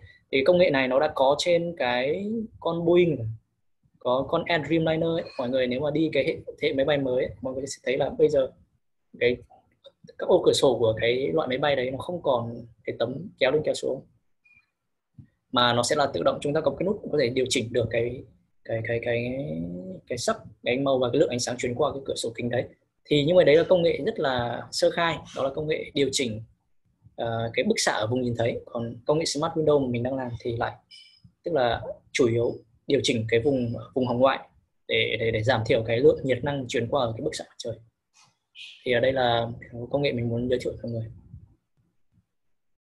Rồi à, và cuối cùng ấy à, mình muốn à, bonus thêm một số phần. Thì tại vì có một số bạn có hỏi về cái công nghệ khác ngoại trừ những cái giải pháp về mặt kỹ thuật kia thì còn về riêng mỗi từng loại công nghệ thì còn có những cái phương pháp nào khác để tăng hiệu suất không? Thì mình có thể giới thiệu qua một chút đó là cái solar tracker này chắc là mọi người cũng sẽ là biết tức là như chúng ta thấy là cái pin mặt trời ấy, à, cái hiệu suất tốt nhất của nó là vào giữa trưa là vì cái bức xạ mặt trời nó truyền thẳng nó truyền vuông góc với cả cái bầu khí quyển ấy. Thì là lúc đấy là cái nguồn năng lượng nó truyền qua rất là lớn tức là cái cái cái cái cái, cái năng lượng của bức xạ mặt trời nó bị cản lại bởi cái bầu khí quyển nó ít nhất. Chính vì thế vì sao nó hiệu suất à, tốt nhất là từ là khoảng giữa trưa từ khoảng 12 giờ trưa đến 2 giờ chiều. Đấy là lý, lý do như thế và nhưng mà khi mà chúng ta đối với công nghệ công nghệ truyền thống ấy, chúng ta lắp cố định tấm pin mặt trời ấy, thì cái góc nghiêng so với mặt đất ấy, thì nó phụ thuộc vào uh, cái này thì phụ thuộc vào từng nước nhé thì cái này là chúng ta phải nghiên cứu góc nghiêng nào tốt nhất. Thì cái này uh, các, các kỹ sư về về lắp đặt pin mặt trời nếu bạn nào ở trong này làm kỹ sư thì các bạn sẽ biết. Thì tùy nước và thậm chí là tùy mùa chúng ta sẽ phải tính toán cái góc nghiêng. Thì hiện nay thì không phải hiện nay mà đang qua uh, trước đấy chúng ta đã có rồi hiện nay thì là là công nghệ tracker tức là cái tấm pin này đặt trên một cái giá đỡ có thể xoay được. Có thể là single tức là chỉ xoay theo một chiều hoặc có thể là dual xoay theo hai chiều. Và nó có thể tăng được tầm nếu mà công nghệ single nó có thể tăng được 25 đến 35 phần trăm hiệu suất của cái pin mặt trời. Và đối với lại dual thì chắc là nó sẽ tăng lên 30 đến 45 phần trăm. Và tất nhiên đi cùng với đó thì giá thành uh, nó cũng sẽ đắt hơn giá thành kể cả giá thành sản xuất này. Thứ hai và giá thành uh, bảo trì nó cũng sẽ đắt hơn rất là nhiều và một cái nhược điểm nữa của cái công solar tracker này thì nó chỉ ứng dụng được với cả các nhà máy điện trời quy mô lớn. Tại vì cái tấm xoay cái tấm giá đỡ để xoay nó rất là nặng và không thể ứng dụng được với cả công nghệ tức là công nghệ pin mặt trời áp mái à, không ứng dụng được tại vì nó rất là nặng. Thì à, thì là một trong những cái giải pháp công nghệ mới uh, để để để tăng hiệu suất của pin mặt trời này. Rồi uh, slide cũng gần hết rồi. Ok. Uh, tiếp theo thì uh, có một số câu hỏi về cái chuyện gọi là tái chế tức là cái ô nhiễm của cái pin mặt trời tức là cái, cái phế phẩm và cái phế thải của cái pin mặt trời này. Và nó ảnh hưởng đến môi trường và chính vì thế rất là nhiều người phản đối cái chuyện kể cả pin mặt trời này nó kia. Thì mình xin nói như này là cái pin mặt trời cái công nghệ pin mặt trời ấy, thì nó có công nghệ tái chế. Nhưng mà rõ ràng là nó còn phụ thuộc vào cái cái, cái chi phí tái chế nữa. Thì hiện nay thì cũng có công nghệ tái chế rất là nhiều rồi. Thì ờ, như ở đây cái slide 37 ấy, thì mình thấy là cùng với cái sự bùng nổ của, của, của, của công nghệ pin mặt trời ấy, thì từ đây cho đến 2050 ấy, thì cái lượng phế thải từ cái pin mặt trời nó rất là lớn tăng lên tầm khoảng trên 50 triệu tấn ở đây. Vẫn chủ yếu từ Trung Quốc ở đây từ châu Á. Trung Quốc Ấn Độ là hai nước mà uh, là uh, đóng góp nhiều nhất vào cái lượng phế thải này. Uh, cùng với đó là các nước châu Âu. Thì uh, như tại vì ở châu Âu thì Đức hiện tại thì nước nó đang là dẫn đầu về cái cái cái cái, cái quy mô cái cái cái, cái quy mô dung lượng năng lượng tái tạo so với tổng toàn bộ toàn thổ năng lượng uh, toàn thể cái dung lượng sử dụng trong cả nước thì Đức hiện tại đang là dẫn đầu. Thì đấy. Ok thì uh, thì nó có ba loại uh, có ba cái loại uh, pin mặt trời khác nhau ấy. Thì thế nhưng hiện tại ấy, thì hai loại phổ biến nhất thì vẫn là loại silicon và loại tinh phim này. Thì ở, ở số ở ba 38 thì uh, là cái hình ảnh mọi người có thể thấy là cái thành phần chính của một tấm pin mặt trời.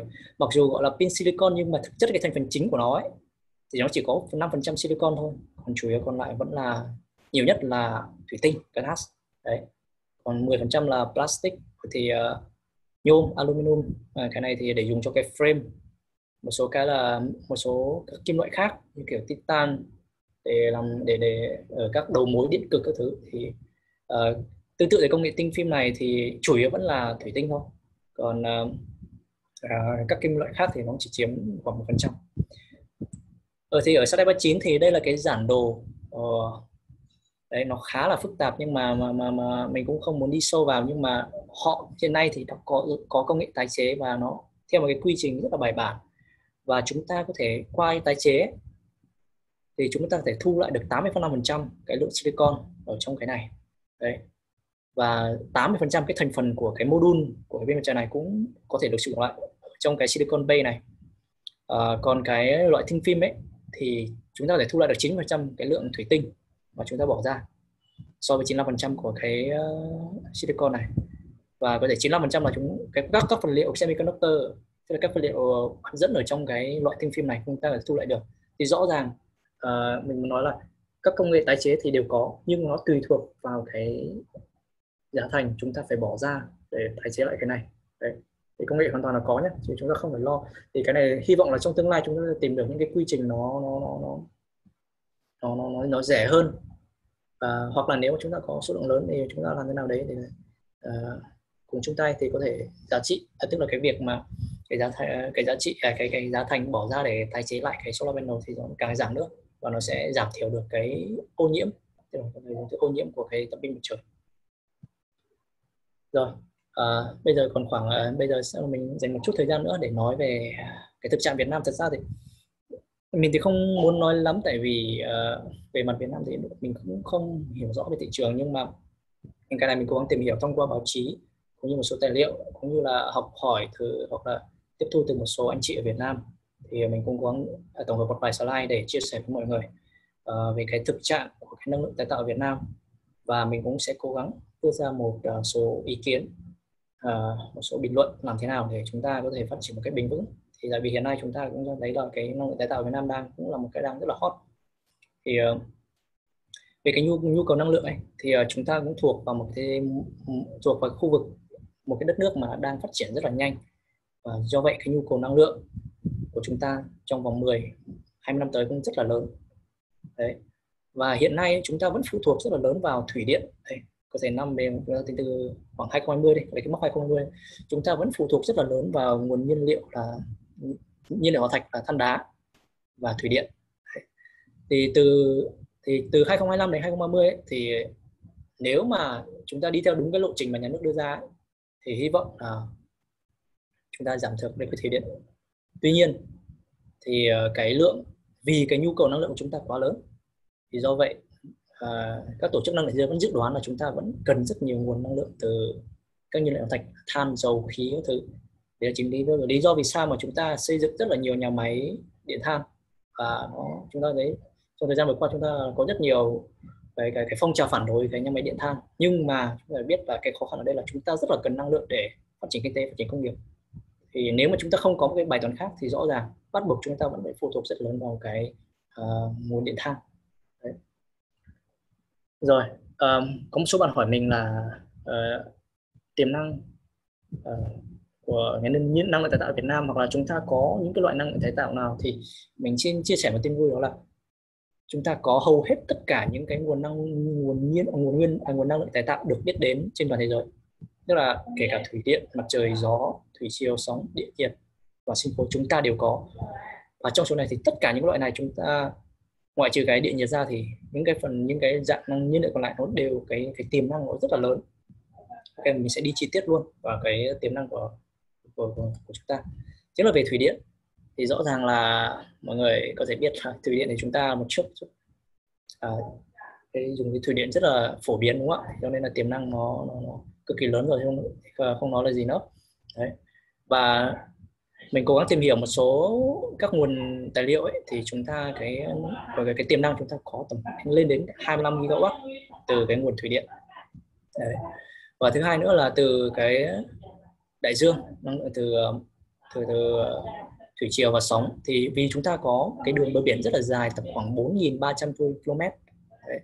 thì do vậy là cái nguồn cái tiềm năng của cái năng lượng từ thủy từ từ đại dương chúng ta cũng rất là lớn thì uh, Ờ, ở một số tài liệu thì mình thu được cái số liệu là chúng ta có tầm tiềm năng khoảng 200 đến 500 MW điện từ thủy triều và khoảng 350 MW điện từ năng lượng sóng. Nó cũng rất là lớn rồi và tiếp theo là gió à, cái tiềm năng về năng lượng mặt trời và gió. Thì hai cái này thì cũng cực kỳ lớn. Thì mọi người có thể xem cái bản đồ bức xạ. Ở đây là mình nói đây đây là bản đồ bức xạ ở cái ở, ở Việt Nam ở trên toàn thổ toàn thổ lãnh thổ Việt Nam thì cái đường mà nó càng gần cái màu đỏ đậm thì là cái bức xạ lớn nhất. Tức là cái lượng năng năng lượng bức xạ lớn nhất về cái thì mọi người nó sẽ tập trung ở các tỉnh duyên hải nam trung bộ tây nguyên và tỉnh miền nam ở đây. Đấy. miền bắc thì uh, rõ ràng là ít hơn tại vì chúng ta có mùa đông. Đấy. đây đây là tính theo hàng năm nhé đây là cái ờ, đến trung bình tính theo trên một uh, trên một mét vuông tính theo một ngày. Uh, là tính trung bình trong trong trong hàng năm. Thì uh, uh, các tỉnh như bình thuận ninh thuận thì rõ ràng là tiềm năng nó cực lớn luôn rất là lớn. Và hai tỉnh này cũng rất là may mắn ngày xưa thì rõ ràng là hai tỉnh khá là nghèo, nhưng mà khi mà chúng ta phát triển bắt đầu năng lượng tái tạo thì tự nhiên hai tỉnh này lại trở nên là một cái điểm đến lý tưởng của các ờ, các nhà máy điện mặt trời điện năng lượng tái tạo. Thì vậy vì kể cả năng lượng gió cũng rất là lớn thì cái đường màu đỏ cũng là thể hiện cái tốc độ gió lúc là lớn. Thì rõ ràng nó tập trung ở các các tỉnh ven biển và cũng vẫn là tập trung nhiều ở các tỉnh duyên hải nam trung bộ ở đây à, ở tỉnh nam bộ ở đây. Thì uh, như mọi người có thể thấy thì uh, tiềm uh, tiềm năng gió ở Việt Nam tầm khoảng 27 GW trong khi đó tiềm năng điện mặt trời tầm khoảng 7 GW thì theo một số số liệu mình mình lấy được từ uh, các uh, cơ quan tổ chức quốc tế. Thì đấy là tiềm năng về uh, gió và mặt trời. Ok rồi thì tiềm năng về năng lượng sinh khối thì tất nhiên thì không phải nói đúng không? Chúng ta là một đất nông nghiệp thì cái lượng mà phế phẩm nông nghiệp chúng ta tạo ra hàng năm nó rất là lớn. Trong đó thì nhiều nhất là vẫn là dơm. Dơm giả ở đây rice straw là dơm giả Đấy. À, tuy nhiên chúng ta có một số loại khác mà có giá trị về mặt năng lượng nó lớn hơn. Thì gồm có như kiểu là à, phế thải như như là vỏ của cái lạc ấy, đậu phộng ấy, vỏ đậu phộng này. Thì là đấy là qua một số nghiên cứu thì người ta có à, có, có tính ra được cái lượng năng lượng trên một kg của các phế phẩm này thì cao nhất là uh, vỏ của cái đậu phộng. Thế nhưng mà cái chúng ta lại không có nhiều cái đấy. Uh, cái thứ hai nữa là các phế phẩm từ ngô thì chúng ta cũng tiềm năng rất là lớn và cái lượng năng lượng ở trong cái lõi ngô cũng rất là lớn.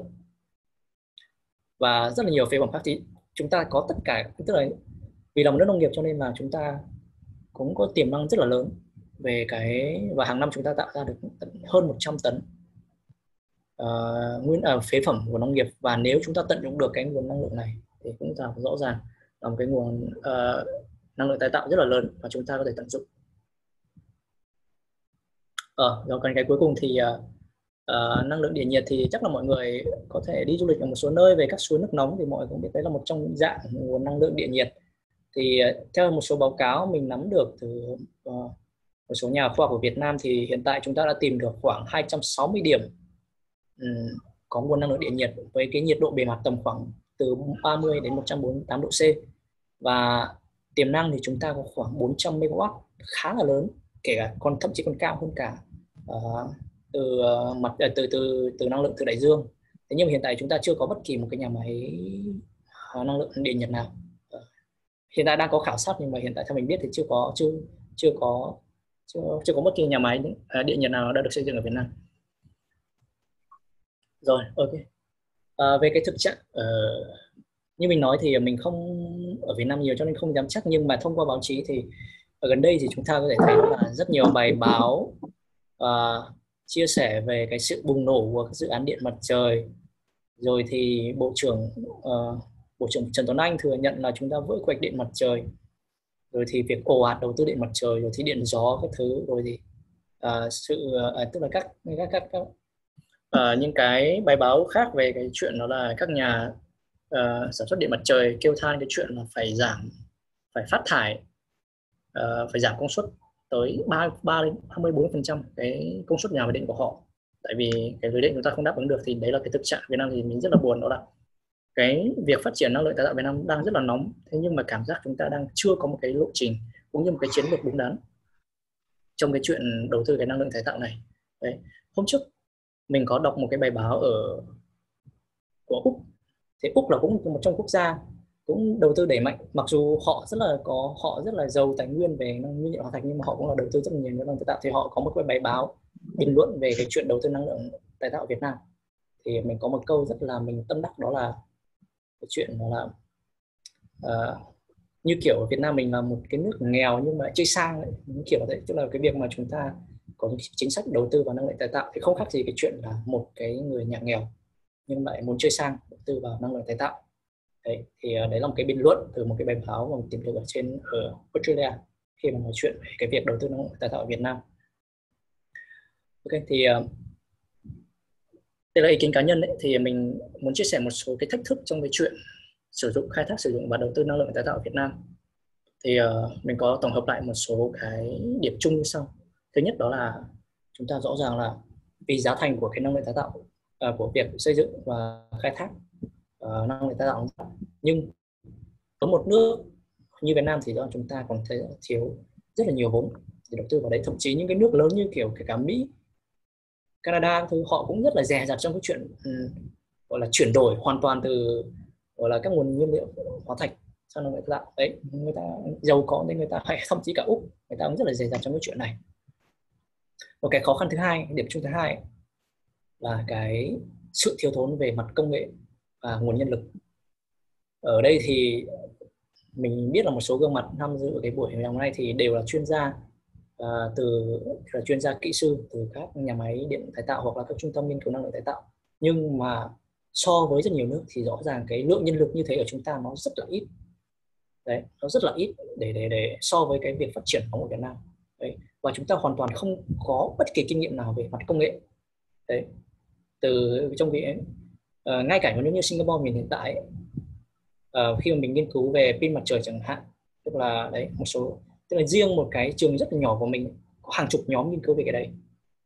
Hay là về nghiên cứu về hydro cái thứ thì có hàng chục nhóm như thế cạnh tranh nhau. Ở riêng ở trong cái khoa nhỏ của mình thôi trong cái trường NTU này. Nhưng mà cái nhóm những cái nhóm nghiên cứu như thế sẽ mình tìm hiểu ở Việt Nam thậm chí chưa đến 10 nhóm. Nó rất là ít. Thì rõ ràng chúng ta chưa thấu về mặt cả nhân lực cũng như là cả công nghệ. Cái thứ ba nữa cái một cái thử thách nữa à, một cái thách thức nữa đó chính là cái lưới điện của Việt Nam. Và rằng như mọi người biết thì những cái bài báo từ mấy báo trước, mấy bài báo trước mình chia sẻ thì cái lưới điện Việt Nam chúng ta rất là yếu. Đấy. mọi người hỏi là tại sao chúng ta lại không đầu tư vào lưới điện?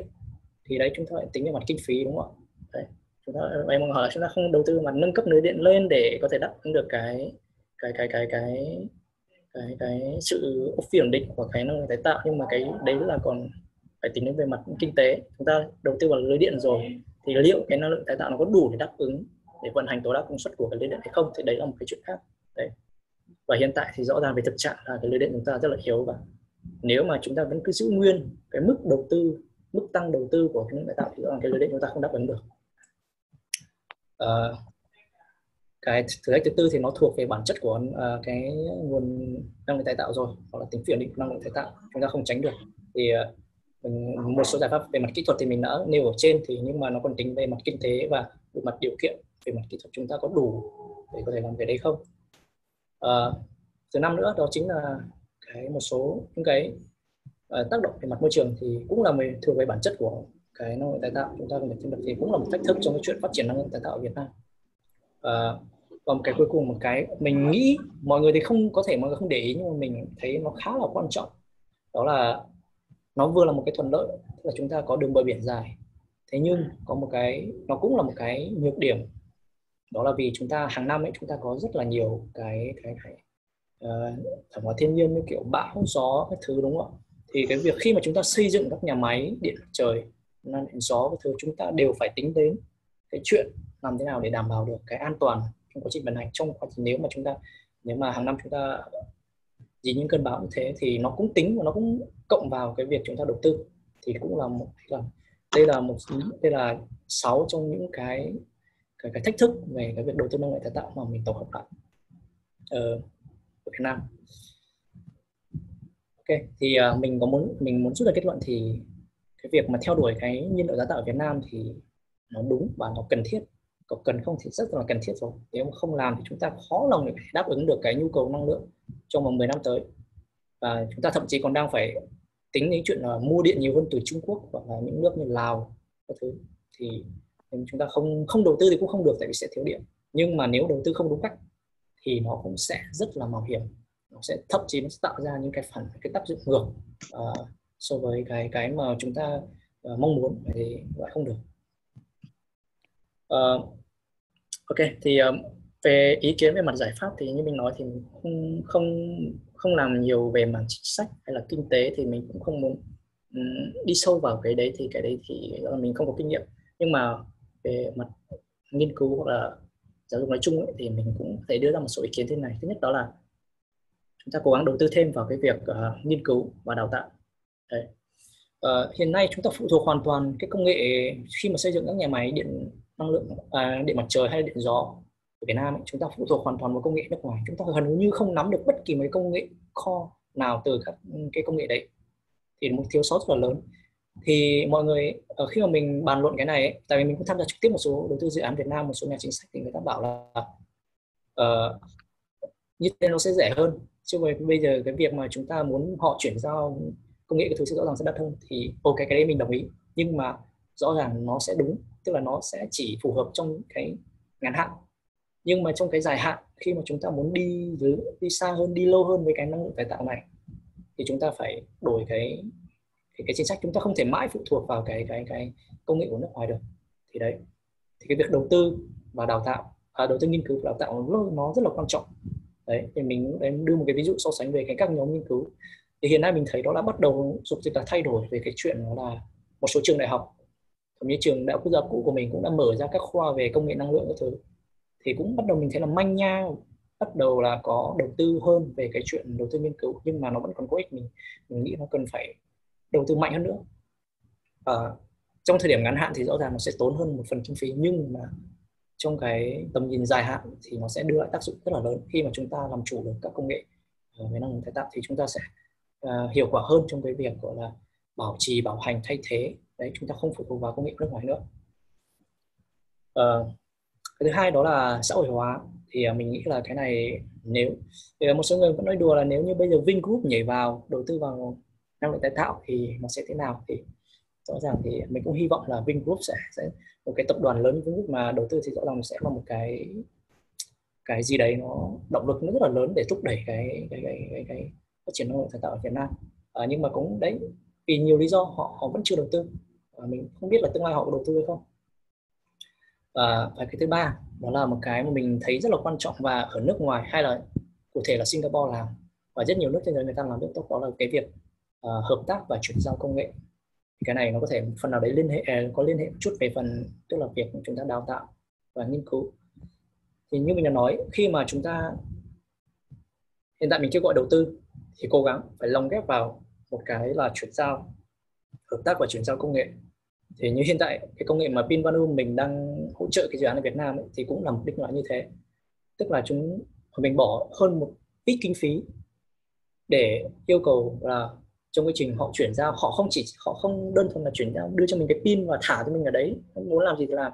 Mà trong cái đấy mình muốn họ đầu đào tạo hộ cái đào tạo hộ chúng ta cái nguồn nhân lực các kỹ sư kỹ thuật viên.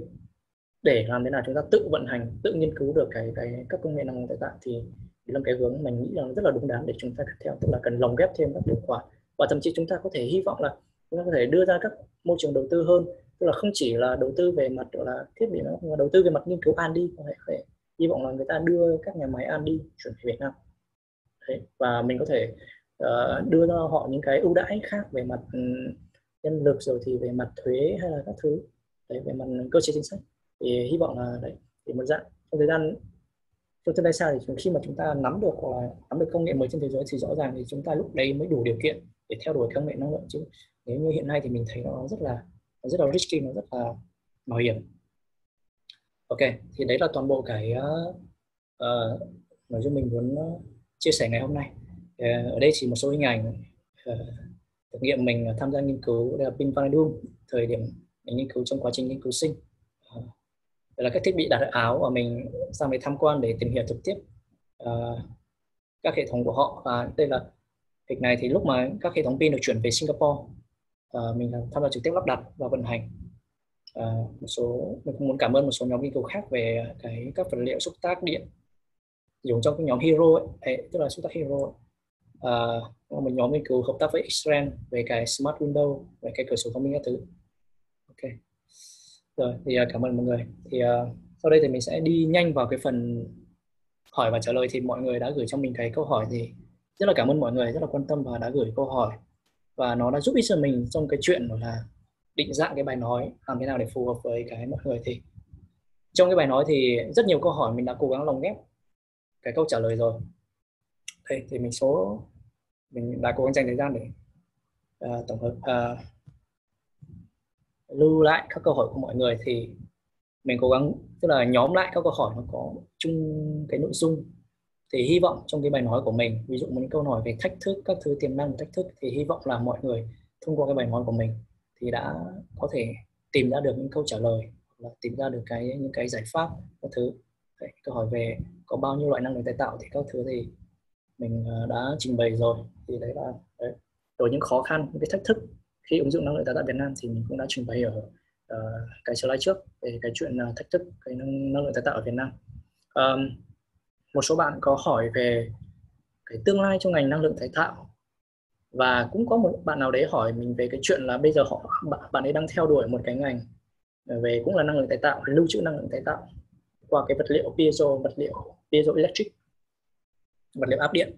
Và bạn ấy cảm thấy gọi là uh, mong lung và nó sợ là sau này không có ứng dụng hay là không tìm được việc hay thế thì mình mong muốn là sau qua cái slide này mình hy vọng là bạn có thể nghĩ lại tại vì rõ ràng cái tiềm năng và cái tương lai cái năng lượng tái tạo Việt Nam nó rất là lớn và hy vọng bạn có thể tiếp tục theo đuổi cái cái ngành nghiên cứu này tại vì rõ ràng trong tương lai ấy, bạn nếu bạn là sẽ là một trong những cái nguồn nhân lực rất là quý giá để chúng ta có thể làm chủ được cái công nghệ năng lượng tái tạo. Uh, ok một số câu hỏi tiếp theo cũng như tương tự là về uh, điểm mạnh điểm yếu thì mình cũng đã cố gắng trả lời mọi người rồi thì hy vọng mọi người uh, mình sẽ chỉ tập trung vào một số câu hỏi mà mình chưa thể trả lời được trong cái bài nói thôi. Ok. Uh, giảm giá thành thì đây là bài toán kinh tế rồi cái này thì chắc là phải nhờ các khả kinh tế học. Um, khả thi tính khả thi của năng lượng tái tạo ở Việt Nam thì rõ ràng rất rất là có tiềm năng rồi nhưng mà khả thi hay không thì uh, em xin uh, trả lời là hiện tại là nếu mà trong cái bối cảnh hiện tại thì nó rõ ràng nó chưa khả thi cho lắm. Trong nếu mà chúng ta muốn theo nó lâu dài thì chúng ta còn thoát còn thiếu thốn quá nhiều thứ. Bây giờ mà hỏi chúng ta thiếu cái gì để phát triển năng lượng tái tạo thì ờ, em cũng có thể mạnh dạn trả lời là chúng ta thiếu mọi thứ. Rồi thì ờ, những cái tác hại thì mình cũng đã uh, nêu ra rồi. Ở à đây bạn này hỏi về đây chính là cái bạn mà đang rất là không có động lực để tiếp tục nghiên cứu về năng lượng tái tạo. Mình, mình hy vọng bạn sẽ tìm ra được cái động lực mới để tiếp tục theo đuổi cái ngành ờ, năng lượng tái tạo này. Ok và các hỏi tiếp theo là các câu hỏi về cái việc lưu trữ cũng như là chuyển đổi. Thì mình à, tức là nó có liên quan đến cái việc lưu trữ và chuyển đổi đây. Còn có hỏi về giải pháp về việc lưu trữ điện. Thì đấy là mình công nghệ pin vanadium này thì thực chất này nó vẫn là đắt. Và mình hy vọng là sắp tới là chúng ta có thể um, tìm được cái phương pháp để, để để để chuyển giao công nghệ hoặc là đưa công nghệ về để chúng ta có thể um, để giải quyết được cái bài toán lưu trữ điện ở Việt Nam.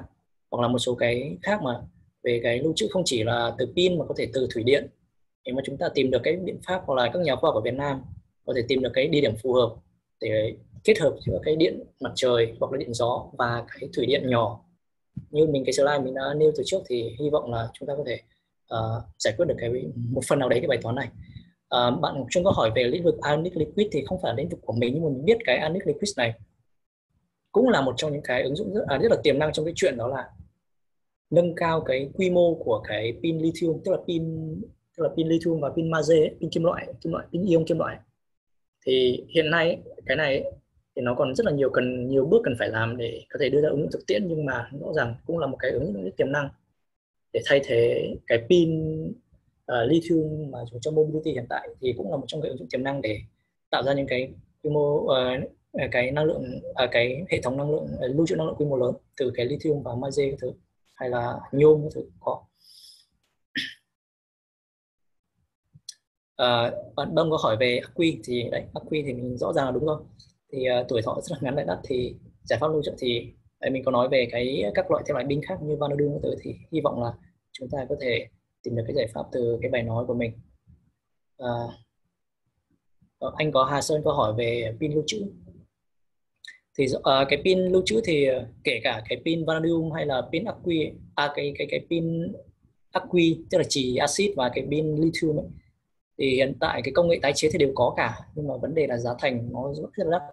Thậm chí là cái pin lithium thì hiện tại ấy, thì các công nghệ tái chế nó rất là hạn chế đấy là một trong những nhược điểm rất là lớn nhất của cái pin lithium này. Và nếu mọi người có thể tìm hiểu trên mạng ở Trung Quốc có những cánh đồng tức là có những cánh đồng rác thải pin lithium nó rất là lớn rất là khủng khiếp luôn người ta không biết làm gì với nó người ta chỉ đem vứt ở đấy thôi. Và tạm thời đang để ở đấy còn chưa chưa chưa chưa biết phải làm gì với nó. Thì ở Singapore thì cũng có những cái uh, tức là có những nhóm nghiên cứu họ được cái funding rất là lớn trong cái chuyện uh, để nghiên cứu cái chuyện là tái chế lại cái pin lithium này. Thì hiện tại tạm thời là rất là ít giải pháp thì cho nên là rõ ràng vì thế mà cái việc áp dụng cái pin lithium vào trong lưu trữ ở Việt Nam rõ ràng hiện tại chưa làm được. Thì tại vì kể cả ngay thế giới cũng rất là khó. Hiện nay trên thế giới thì kể cả một số ngày trước thì event có phản biện mình về cái chuyện đó là Tesla các thứ gì ở Mỹ đấy có có làm có xây dựng nhà máy lithium rất là lớn để lưu trữ năng lượng tái tạo nhưng thực chất nó chỉ uh, lớn thì gọi là nhưng mà ứng dụng thực tế nó vẫn còn rất là xa xôi. Uh, và Trần Tùng Lâm có hỏi về Hero. Uh, đấy như mình đã nói Hero thì tiềm năng lớn nhưng mà rõ ràng ở Việt Nam chúng ta cái, cái nhóm nghiên cứu về cái Hero này rất là ít. Thì hy vọng trong tương lai khi mà chúng ta các trường đại học đang dần dần thay đổi các chương trình học cũng như là mở thêm các khoa về năng lượng tái tạo hy vọng là trong tương lai chúng ta có thể tìm ra được cái đội ngũ nhân lực mới nhà nghiên cứu mới trong cái chuyện hero này. Vì rõ ràng đối với một nước mà có tiềm năng năng lượng tái tạo lớn như Việt Nam thì rõ ràng cùng kéo theo đó thì cái tiềm năng về cái năng lượng hydro thì cũng sẽ lớn theo thôi. Bạn này thì hỏi về fuel cell đấy pin nhiên liệu và ô tô pin nhiên liệu thì đấy vấn đề lớn nhất hiện nay chính là cái storage làm thế nào để để để để, để có thể đặt được cái bình hydro hoặc là cái gì đấy ở trên cái xe trên, trên cái thiết bị xe nó cho nó an toàn thì đấy là vấn đề mà lớn nhất mà các nhà khoa học đang đối mặt. Ok thì uh, bạn ờ, Hữu Đan có hỏi về cái chuyện lưu trữ năng lượng tái tạo và có các bài học như kiểu Đức hoặc Mỹ. Thực ra nó hạn thế này Đức như mình được biết uh, như mình được một số anh chị có có có có có, có chia sẻ thì bọn Đức thì rõ ràng họ, họ có cái nguồn năng lượng tái tạo của họ tức là cái mật tức là cái cái tỷ suất năng lượng tái tạo trong cái tổng năng lượng họ rất là lớn. Thế nhưng mà cái cái cái cái họ lại không phát triển sâu về cái mảng lưu trữ. Tại vì ấy, ở Đức thì có một cái thuận lợi ở Đức đó là gì? Họ có nguyên cái lưới điện châu Âu để hỗ trợ khi mà cái cái cái cái cái cái công suất của cái năng lượng tái tạo nó vượt quá mức. Thì rõ ràng họ có nguyên một cái lưới điện của nguyên châu của EU đấy hỗ trợ để giảm thải tức là giảm phát thải của cái để giảm tải cái cái cái cái cái cái công suất vượt quá của của cái pin mặt trời hay là điện gió trong cái thời điểm cao điểm trong cái thời điểm công suất nó đạt nó vượt quá cái mức đỉnh mức. Nhưng ở Việt Nam thì rõ ràng chúng ta không chạy đâu được đúng không? Thì ờ, thì đấy là một còn các công, công nghệ khác thì mình cũng đã chia sẻ như ở trên. Ờ, và ứng dụng thì khả thi hay không thì lại còn phải thấy rõ ràng như câu hỏi của bạn cũng chính là câu trả lời phụ thuộc vào bảo toán nghiên cứu đầu tư các thứ. Thì hiện nay Việt Nam rất là khó để ứng dụng thì chúng ta không nắm được công nghệ à, à, các câu hỏi về cái hiệu suất à, về cái hiệu quả kinh tế. Và một số bạn à, bạn Hà Khuê có hỏi về năng lượng tái tạo đối với nền kinh tế của Singapore thì mình xin trả lời với bạn là theo mình biết thì Singapore mặc dù tại vì mình cái công trình nghiên cứu của mình thì mình có làm trực tiếp với cả cái Sen Macau một cái đảo người ta tạo ra để nghiên cứu thử xem là nguyên một cái đảo cái là cái đảo nhân tạo. Người ta tức là lắp hệ các hệ thống năng lượng tái tạo các hệ thống lưu trữ rồi thì các tòa nhà thông minh và người ta đang thử nghiệm xem là cái tảo ấy có thể tự tồn tại không cần tức là tự tức là cư dân sống ở đấy tự tồn tại và vận hành mà không cần sử dụng năng lượng hóa thạch hay không. Thì hiện tại vẫn đang là vẫn đang là như chú thôi nhưng mà cái năng lượng hiện, hiện cái cái năng lượng hiện tại mà sinh dùng ấy thì phụ thuộc vào điện khí và điện ga là chủ yếu. À điện đúng rồi điện khí và điện dầu là chủ yếu. Thì họ thì lại toàn bộ hiện tại vẫn đang dùng điện khí và điện khí và điện dầu là chủ yếu chứ còn năng lượng tái tạo thì ở Singapore uh, thì họ có nghiên nhưng mà họ đầu tư nghiên cứu rất là mạnh thì không biết tương lai như nào. Hiệu quả đầu tư vào năng lượng tái tạo với thực trạng Việt Nam thì đấy mình cũng đã nhận xét đó là rõ ràng hình như là chúng ta đang đang đang đi một cách mù mờ tức là đi theo phong trào trong cái chuyện đầu tư vào năng lượng tái tạo ở Việt Nam. Và hy vọng là sắp tới thì rõ ràng chính phủ đang cố gắng đang xem xét lại trong cái kỳ họp ừ, trong cái kỳ họp quốc hội vừa rồi thì khi mà bộ trưởng Trần Tuấn Anh có nêu ra cái thừa nhận là đã vỡ quy hoạch thì rõ ràng chúng ta đang phải xem xét lại cái quy hoạch này rồi. Và trong tương lai chúng phải đi một cái bước nó chậm rãi và nó an toàn hơn. Và nó phải đồng bộ hơn chứ không chỉ cái việc đầu tư đầu tư xây dựng nhà máy mà không đầu tư vào cái nghiên cứu hay là đầu tư về những cái mặt ừ, đồng bộ khác. Đấy thì ờ, uh, rác thải xử lý pin mặt trời thì uh, bạn Đặng Hoa Nam có hỏi thì mình cũng đã có một slide uh, có rất nhiều có hai ba slide trả lời về cái công nghệ thì nhưng mà nó còn tùy thuộc vào giá thành nữa. Uh, ok hiệu quả kinh tế về cái khu vực. Tức là có rất nhiều bạn hỏi về cái chuyện có nên uh, có nên dùng điện áp mái điện mặt trời áp mái ở các khu vực miền Bắc ở Việt Nam không? Thì hiện nay ấy, thì cái khả thi nhất thì vẫn đang ở Sài Gòn. Thì tức là nó hiệu quả nhất tại vì thứ nhất là về cả mặt uh, bức xạ ở, ở vùng đấy thì nó lớn hơn ở bức xạ miền Bắc thì câu chuyện mà khả thi hay không ấy, thì cái này chắc là mình sẽ cần hỏi ý kiến. Tức là mình sẽ cần một cái công trình nghiên cứu về, thứ nhất là mật độ bức xạ ở miền Bắc này. Thứ hai là cái giá giá giá thành chúng ta lắp đặt này. Rồi thì cái kể cả nhu cầu năng lượng của một hộ dân ở miền Bắc nó như nào, tùy thuộc như nào, chúng ta phải cần phân tích nó như thế thì mình mới có thể thể trả lời được. Và hiện, nhưng mà nếu mà đối chiếu theo cái hiện tại thì rõ ràng thì nó sẽ khá là kém hiệu quả ở, nếu chúng ta dùng miền Bắc. Hiện tại nếu mà hiện tại thì mình nghĩ là nó không về mặt kinh tế mình vẫn thừa nhận là về mặt kinh tế nó không hiệu quả khi dùng miền Bắc miền, miền Nam thì nó ok hơn. Đấy, đó là quy mô hộ gia đình. Đấy các rất nhiều câu hỏi về điện mặt trời áp mái. Bạn như thảo có hỏi về uh, hệ sinh thái tác động về sinh thái thì mình cũng đã phân tích khi ở các ưu nhược điểm của các uh, nguồn năng lượng tái tạo ở trên. Rồi thì thì lúc mà chúng ta khai thác và sử dụng thì rõ ràng chúng ta phải cân nhắc thôi nhưng mà rõ ràng nhiều khi chúng ta phải đánh đổi. Đấy, hạn chế uh, hạn chế cái nhược điểm và tăng cái ưu điểm lên. Đấy, tức là rất nhiều câu hỏi về tác động của môi trường các thứ thì hy vọng là các bạn đã có thể nắm được cái câu trả lời tức là chút là câu trả lời thông qua cái slide bài nói của mình. Uh, à rồi à, có một số câu hỏi về cái đề xuất lời gì đề nghị. À, anh chu anh tiến chu, chu tiến anh thì có hỏi mình đề xuất với thực trạng Việt Nam hiện nay thì uh, em cũng đã có một cái slide đề xuất về mặt chính sách tức là đầu tư về mặt nghiên cứu uh, và cố gắng khi mà khi mà kêu gọi đầu tư về năng lượng tái tạo chúng phải kết hợp với cái cái cái cái lồng vào một điều khoản là hợp tác và chuyển giao công nghệ thì đấy là một cái hướng đi mình em, em nghĩ là rất là đúng đắn để chúng ta có thể làm chủ được cái nguồn năng lượng tái tạo này.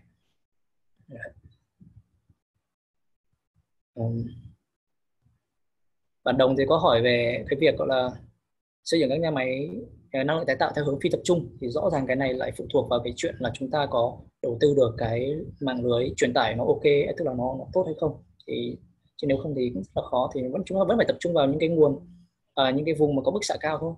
Đấy. và cũng thật ra thì câu hỏi này các bạn cũng rất là đúng tại vì là những cái khu như kiểu Bình Thuận, Ninh Thuận tức là tiềm năng rất là lớn. Thế nhưng mà nhu cầu sử dụng trong khu vực ấy thì nó lại thấp hơn so với những khu như kiểu Hà Nội, Sài Gòn hoặc là khu công nghiệp như Bình Dương thứ. Thì à, nếu mà chúng ta đáp ứng được cái bài toán truyền tải thì lúc đấy thì mình nghĩ chuyện là đầu tư xây dựng theo hướng phi tập trung này. À,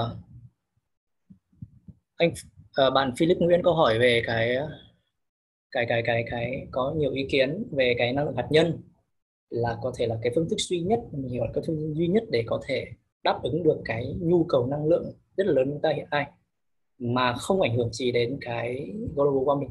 Thì cái này mình trả lời bạn là đúng.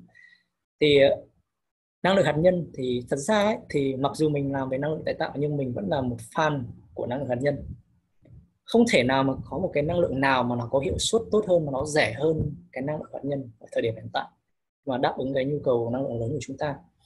Thế nhưng mà cái việc đầu tư năng lượng hạt nhân ấy thì nó không chỉ nó không chỉ là cái bài toán về mặt công nghệ mà nó đôi, đôi khi nó còn liên quan đến mặt cả chính trị chính sách các thứ mức độ an toàn các thứ. Thì thì cho nên là vì sao và chúng tức là nhiều nước cố tránh tức là mình nhiều nước đang rất là cần năng lượng nhưng mà họ cũng sẽ gạt cái năng hạt nhân này ra khỏi cái cái cái cái cái cái, cái lựa chọn uh, các nguồn năng lượng mà họ cần đầu tư. Đấy thế nhưng mà về mặt cá nhân thì à, về mặt cá nhân thì mình vẫn ủng hộ ủng hộ năng hạt nhân. Mình cũng rất là tiếc khi mà cái hai cái dự án nhà máy điện hạt nhân ở Ninh Thuận à, tức là bị dừng. Thì à, mình hy vọng trong tương lai có thể tái khởi động lại tại vì rất là nhiều thứ hay ho cái năng hạt nhân này. Và đúng là cái này là một trong những cái mà có thể đáp ứng được cái bài toán mà tăng trưởng nóng của cái cái cái cái, cái nhu cầu năng lượng ở Việt Nam thì năng hạt nhân nó sẽ đáp ứng được hoàn toàn. Thì cũng như bạn đã thành có hỏi về cái ờ, năng lượng nhiệt hạch cũng là năng lượng hạt nhân ở đây. Ok thì cũng câu hỏi của mình.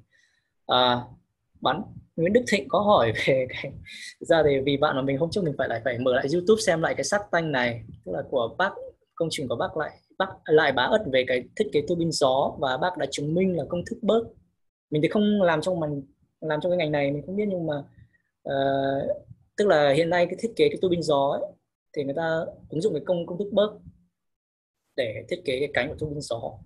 Và bác lại bất này đã chứng minh được là công thức ấy là sai sai hoàn toàn. Và bác có một công thức khác có thể tăng gấp đôi cái hiệu suất chuyển đổi năng lượng của cái tua bin gió của bác. Nhưng mà mình uh, ok thì uh, bạn ấy có hỏi là độ khả thi thì về độ khả thi thì mình sẽ, sẽ xin trả lời bạn trả lời bạn như này. Mình không đánh giá về công công thức cái công thức mới của bác đúng hay là sai nhé bác ấy bảo là công thức mà cả thế giới đang dùng là sai. Thì uh, mình rất là ghi nhận cái cái cái cái uh, cái tâm huyết của bác và cái trí tuệ của bác. Nhưng mà uh, mình chia sẻ vì sao mà cái cánh cái cái cái cái cái tua bin gió chúng ta lại thiết kế à, ba uh, cánh năm cánh mà hiện nay dùng chủ yếu vẫn là ba cánh vì sao? Ba cánh vì sao nó không phải là một cánh vì sao không phải là hai cánh hay là bốn năm sáu cánh? Thì ờ, theo công thức bớt ấy, thì ờ, cái số cánh nó càng ít thì cái hiệu suất nó lại càng cao hơn. Thế nhưng mà đối với những cái tuốc pin mà một cánh và hai cánh ấy, thì nó sẽ tạo ra cái tiếng ồn và cái độ rung và độ phi ổn định nó rất là lớn. Tại vì khi mà gió chiều gió nó rất là phi ổn định thì đấy nó tạo ra tiếng ồn rất là lớn thì người ta tối ưu hóa cái nhưng người ta tối hóa cánh là ba cánh thành ra bốn cánh. Khi mà chúng ta nâng số cánh lên bốn cánh thì có thể hiệu suất nó tăng hơn. Có thể tăng hiệu suất tăng lên khoảng 4 4 phần trăm năm phần trăm. Thế nhưng mà ấy, khi mà xây dựng một cái tua bin gió chúng ta lại tính đến cái mặt giá thành. Và mặt giá thành kể cả giá thành sản xuất kể cả giá thành bảo trì. Như bác nói bác có thể tăng gấp đôi cái hiệu suất nhờ cái thay đổi góc quay của cái tua bin gió. Thế nhưng mà bác tăng gấp đôi hiệu suất nhưng mà ví, ví dụ cái giá thành đầu tư của bác nó tăng thành gấp 3 để thiết kế cái tua gió đấy như thế thì rõ ràng cuối cùng một với nhà đầu tư họ sẽ không làm. Đấy. Chính vì thế mà có thể là vì sao bác có tức là cái công trình này của bác có thể uh, đã xin được tức là tác quyền tức là bảo vệ tức là làm patent của Mỹ của châu công nhận nhưng mà vì sao lại không được đầu tư? Và hình mình nhớ là công thức à, cái cái cái sắc tanh này đã xuất đã, đã, đã phát từ 6 tháng trước và thậm chí có thể lúc bác thi thực trực tiếp ấy, nó còn trước đấy nữa tại vì người ta ghi hình người ta còn phát lại sau. Nhưng mà hiện tại bây giờ thì mình cố gắng tìm thông tin về cái này thì vẫn chưa có. Thì mình không rõ là tại vì công thức của bác về mặt cơ bản là vẫn đang ở trên lý thuyết. Bác chỉ vẽ làm công thức. Còn hiện tại bác ấy chưa có một cái thậm chí chưa có một cái module để chứng minh là công thức của bác nó ra thực tế nó đúng. Đấy đấy là chưa tính đến cái chuyện đầu tư về mặt ừ, tính khả thi kinh tế nhé đây chỉ phải đầu tư về cái việc chứng minh về mặt hiệu suất có đúng là gấp đôi không thì bác còn chưa làm được. Cái này thì rõ ràng là đấy có thể công có thể công thức của bác đúng trong mặt lý thuyết nhưng mà ra thực tế nó lại nó lại nhiều khi nó lại còn phải phụ thuộc rất, rất, rất nhiều yếu rất nhiều yếu tố, yếu tố khác. À, à, một số câu hỏi về bạn Trình Ngọc Sơn về giải pháp tấm pin mặt trời thì hiện nay mình nghĩ là robot là cái ok nhất nó giảm thiểu được. Cái chúng ta phải tức là thực ra thì nhiều nơi trên thế giới đã ứng dụng cái robot này rồi.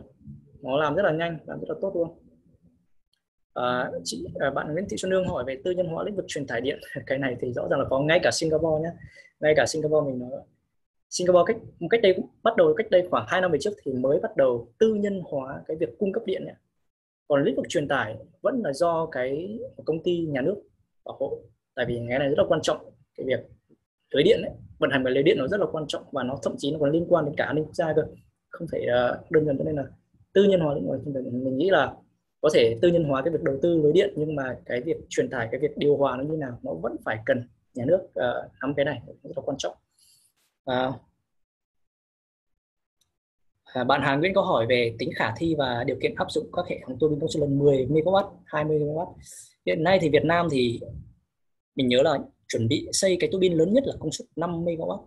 Nhưng mà mình tìm hiểu cái này ấy, thì rõ ràng ấy, thực chất là cái công tu binh công suất lớn ấy, thì mình có một câu rất là hay ở trong cái ngành gió này này, tức là bigger is not always better, tức là không phải cứ lớn hơn nó là tốt hơn.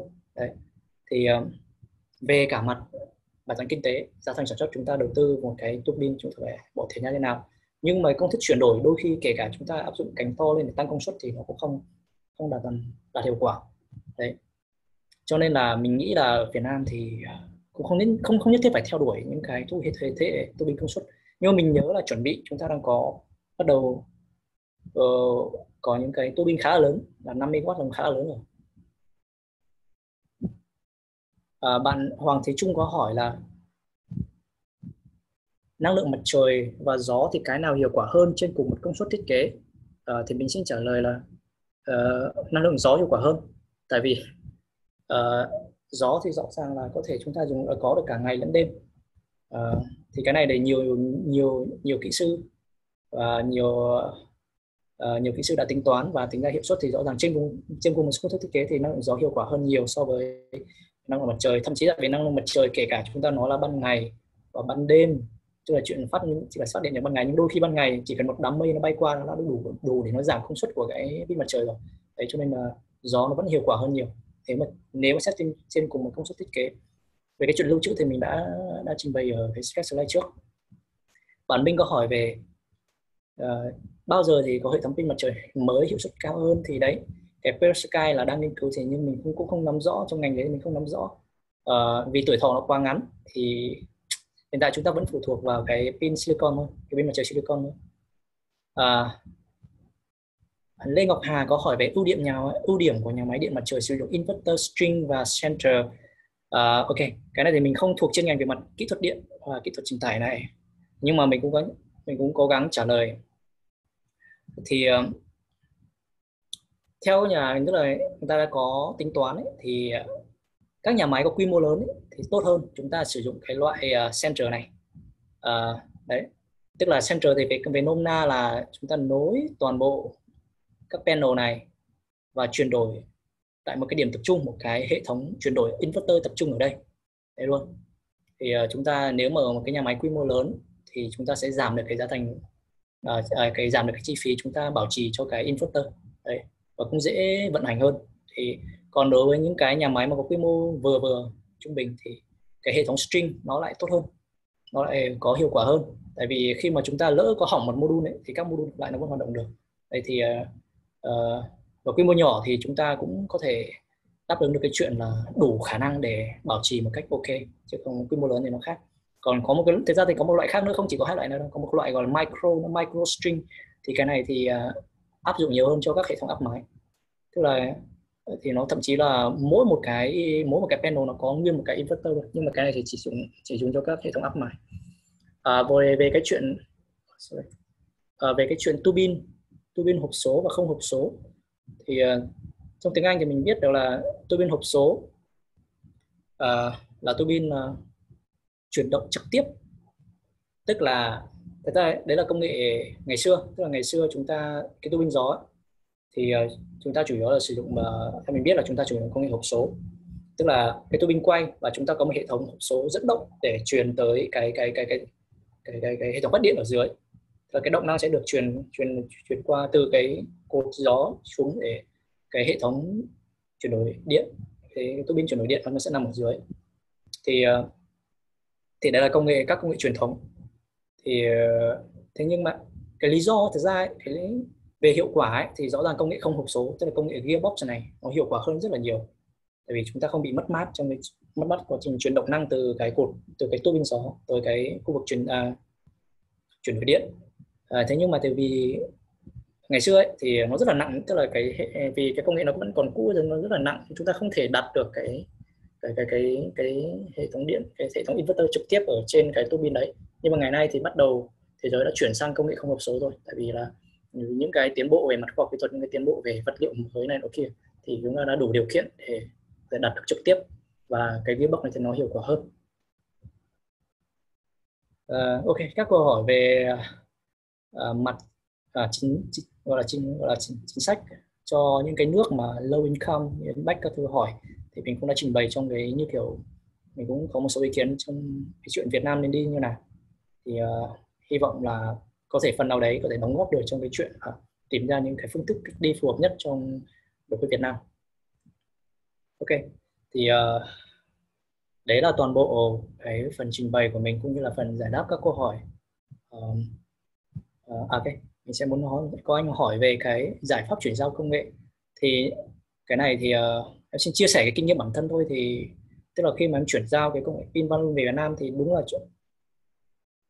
uh, để chúng ta làm chủ được quá trình vận hành và bảo trì. Không chỉ cái wind turbine này nhé rõ ràng bất kỳ một công nghệ năng lượng tái tạo nào thì khi mà chúng ta lồng được cái điều khoản là yêu cầu người ta không chỉ chuyển giao công nghệ mà đào tạo cả nhân lực cho Việt Nam về mặt cơ bản chúng ta thì sẽ có thể chúng họ sẽ nâng giá lên hoặc cái gì đấy nhưng mà chúng ta phải tìm bài toán thế nào đấy để đàm phán lại với họ. Đấy. Thì lúc đấy chúng ta mới có thể đến trong những giải pháp thì các bọn em đã phải đàm phán rất là lâu trong cái chuyện là yêu cầu họ không chỉ chuyển giao cái thiết thiết bị mà phải chuyển giao cả công nghệ và đào tạo cả cái cái cái cái uh, đào tạo. Thì bù lại thì bù lại thì họ sẽ có những cái mặt ưu đãi về mặt thuế quan này thuế nhập cảnh các thứ này. Và bọn em sẽ cố gắng làm việc với chính phủ để giảm cái thuế nhập cảnh à, thuế thuế đúng rồi thuế nhập khẩu cho họ cái thiết bị như thế.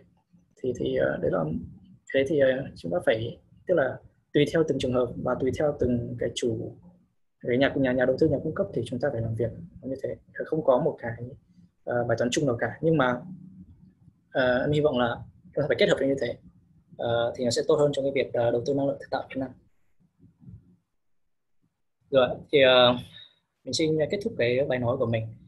Thì uh, bây giờ tiếp theo thì chắc là Luis em còn cái gì để để để để nói với mọi người hay là mọi người có câu hỏi gì thì chắc là để Luis tổng hợp lại.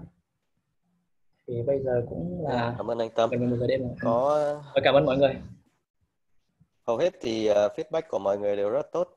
Bài giảng uh, mọi người bảo bài giảng của anh uh, rất là chi tiết nhiều thông tin bổ ích có khá nhiều thông tin mới um, có một số câu hỏi ở trong phần chat. Có những câu hỏi rất là dài.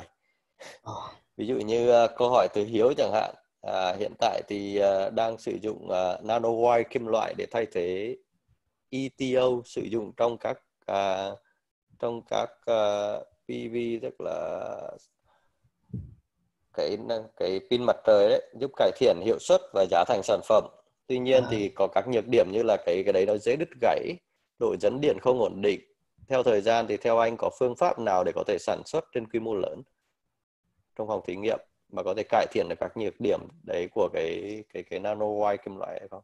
À, cái này thì phải đi theo composite thôi em. Khi mà tức là cái này thì tức là dẫn điện thứ rất là tốt nhưng mà về đặc tính cơ học thì nó rất là kém.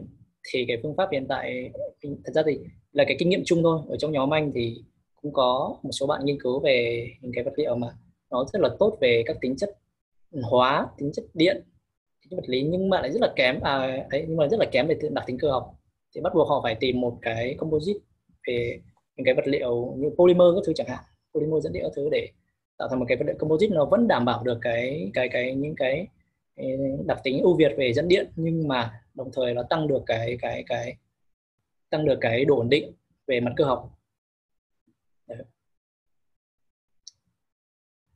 À, hiểu có gì bổ sung thêm không?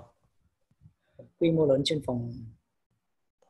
Thật ra thì uh, sản xuất trên quy mô sản xuất sản xuất quy mô lớn trên phòng thí nghiệm thật ra là phòng thí nghiệm thì lại không có thể sản xuất được quy mô lớn đâu em. Thật ra thì uh, à, có một số câu hỏi về cái chuyện đó là bài học ở Singapore các thứ thì chắc là mình chia sẻ luôn đó là ở Singapore ấy, thì họ ở Việt Nam thì rõ ràng mình mình thấy là không hề có những cái trung tâm như thế luôn. Tức là ở Singapore nó có rất nhiều trung tâm gọi là chuyển giao công nghệ hay là trung tâm ứng dụng công nghệ dụng gọi nôm na là trung tâm ứng dụng công nghệ. Tức là một cái trung tâm lai giữa trường đại học và các uh, nhà máy sản xuất công nghiệp luôn.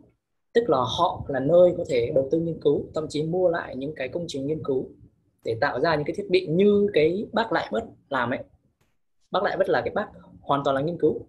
Bác ấy thiếu một cái bước là một cái sản phẩm demo. Tức là đầu tư chỉ cần một cái thôi.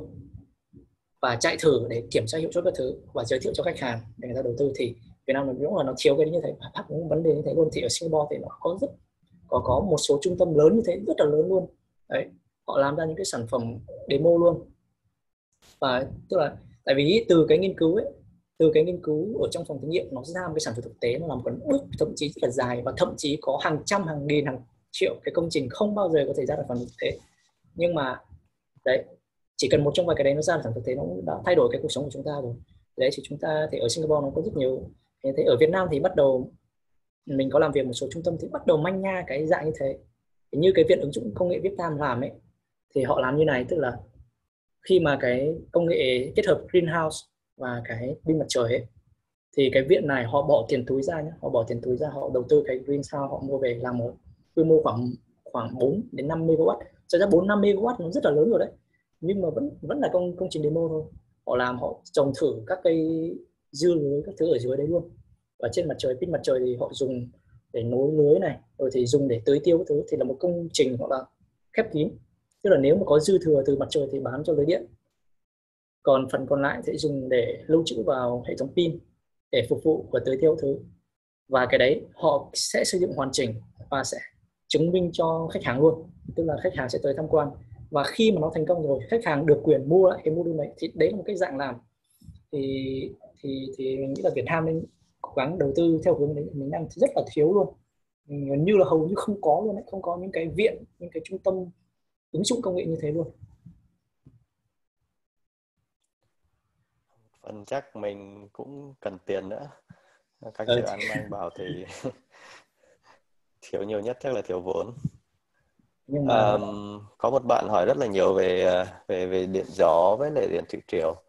Tức là cái xu hướng phát triển của nó ở Việt Nam hoặc là bạn ấy hỏi ở Việt Nam thì vùng nào phát triển nó là tốt nhất đấy à thế này thì à, theo theo cái bản đồ cái bản đồ mật độ gió thì rõ ràng là các tỉnh duyên hải nam trung bộ tất cả các tỉnh gần biển rồi nhưng mà mật độ, tức là cái cường độ gió lớn nhất, ổn định nhất, nhiều nhất thì vẫn là các tỉnh duyên hải nam trung bộ, đấy, và các tỉnh ở miền nam. Thực ra thì ở quảng trị thì bắt đầu có một hình như nếu mà quảng trị được xem, hình như anh cái dự án ở quảng trị được xem chuẩn bị là nếu mà xây xong thì sẽ là dự án lớn nhất hiện nay Việt Nam hiện tại. Không biết là công suất bao nhiêu? Có đọc trên báo. Thực ra đọc, bắt đọc báo ở Việt Nam nhiều khi ảo lắm, nhiều khi là công trình Việt Nam trên giấy nhưng đã lên báo rồi. Nên là nhiều khi cũng không dám khẳng định.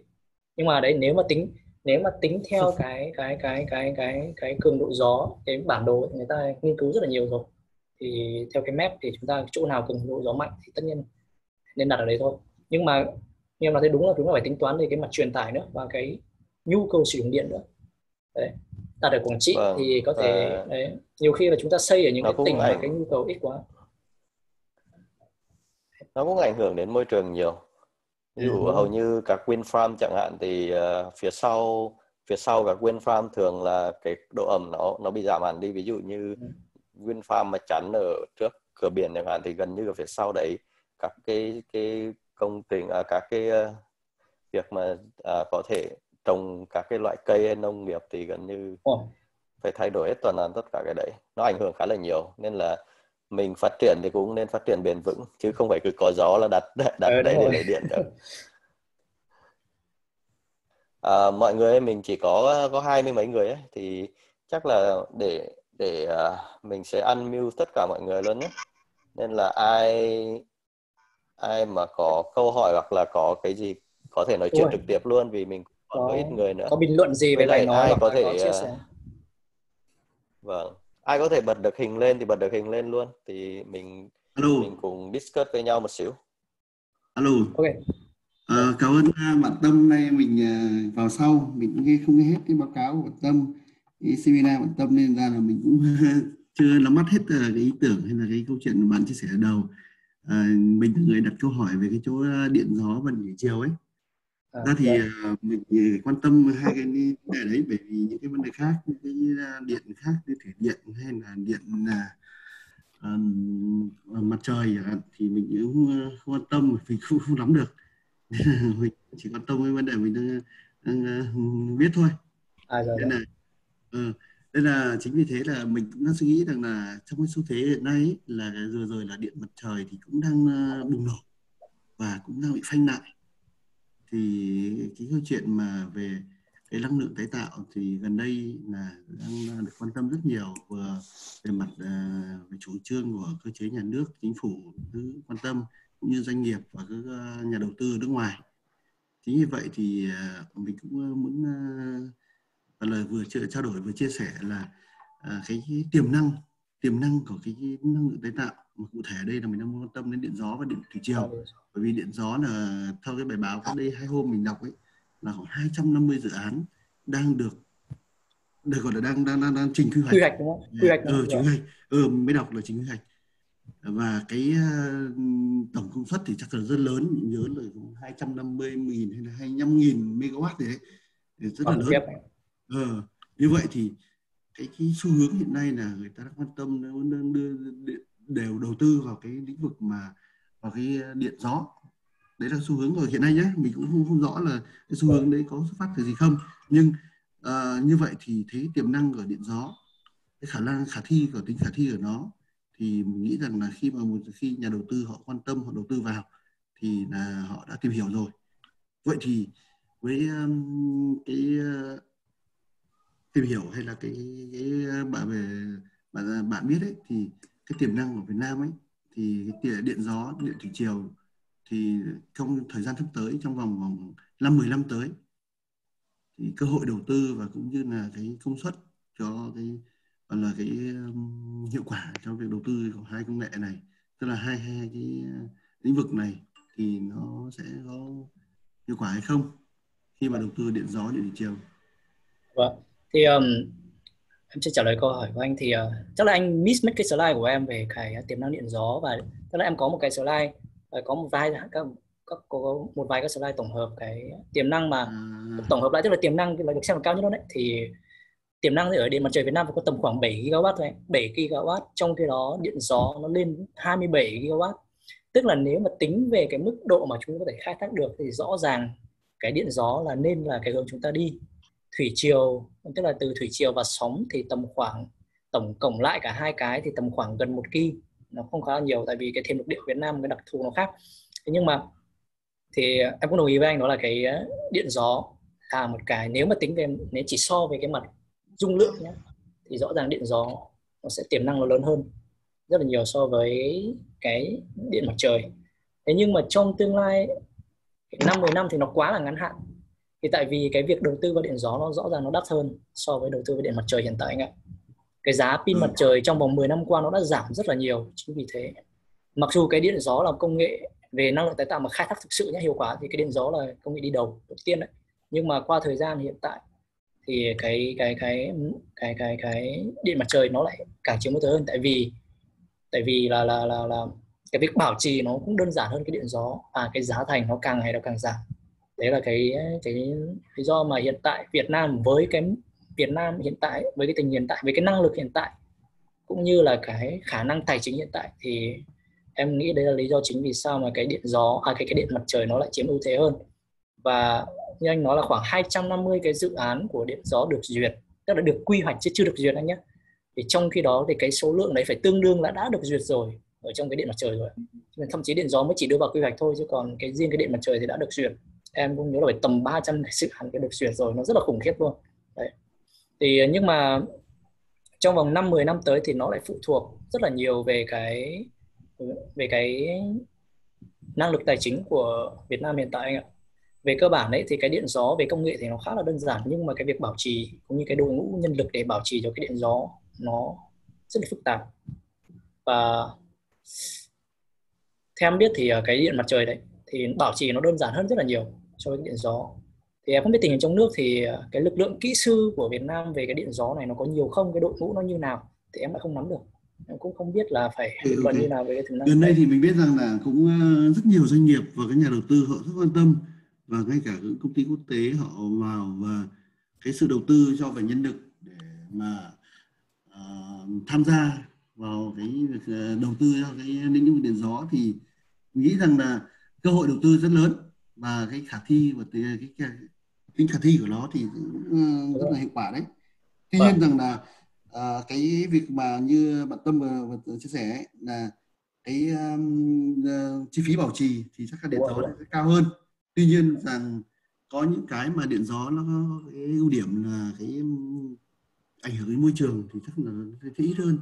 Chẳng hạn như cái, mình lúc mình vào thì lúc đầu từ cái lúc mà mình xem thì mình ờ, xem bạn chia sẻ là về cái vấn đề mà thu hồi hay là bảo trì à còn là gì những cái là xử lý phế thải của cái pin mặt trời xử lý phế thải của cái, vâng. điện, cái điện mặt trời sẽ phức tạp hơn điện gió chỉ cánh túc pin à, đúng rồi, đúng rồi. các, các trụ pin vì mình làm xây dựng mình chuyên ngành của mình là xây dựng đây là dạ. mình chỉ còn như là mình mình hiểu rằng là cái đầu tư cho điện gió thì có thể chi phí ban đầu đầu tư là lớn hơn và bảo trì cao hơn. lai tuy nhiên được ảnh hưởng môi trường sẽ thấp hơn.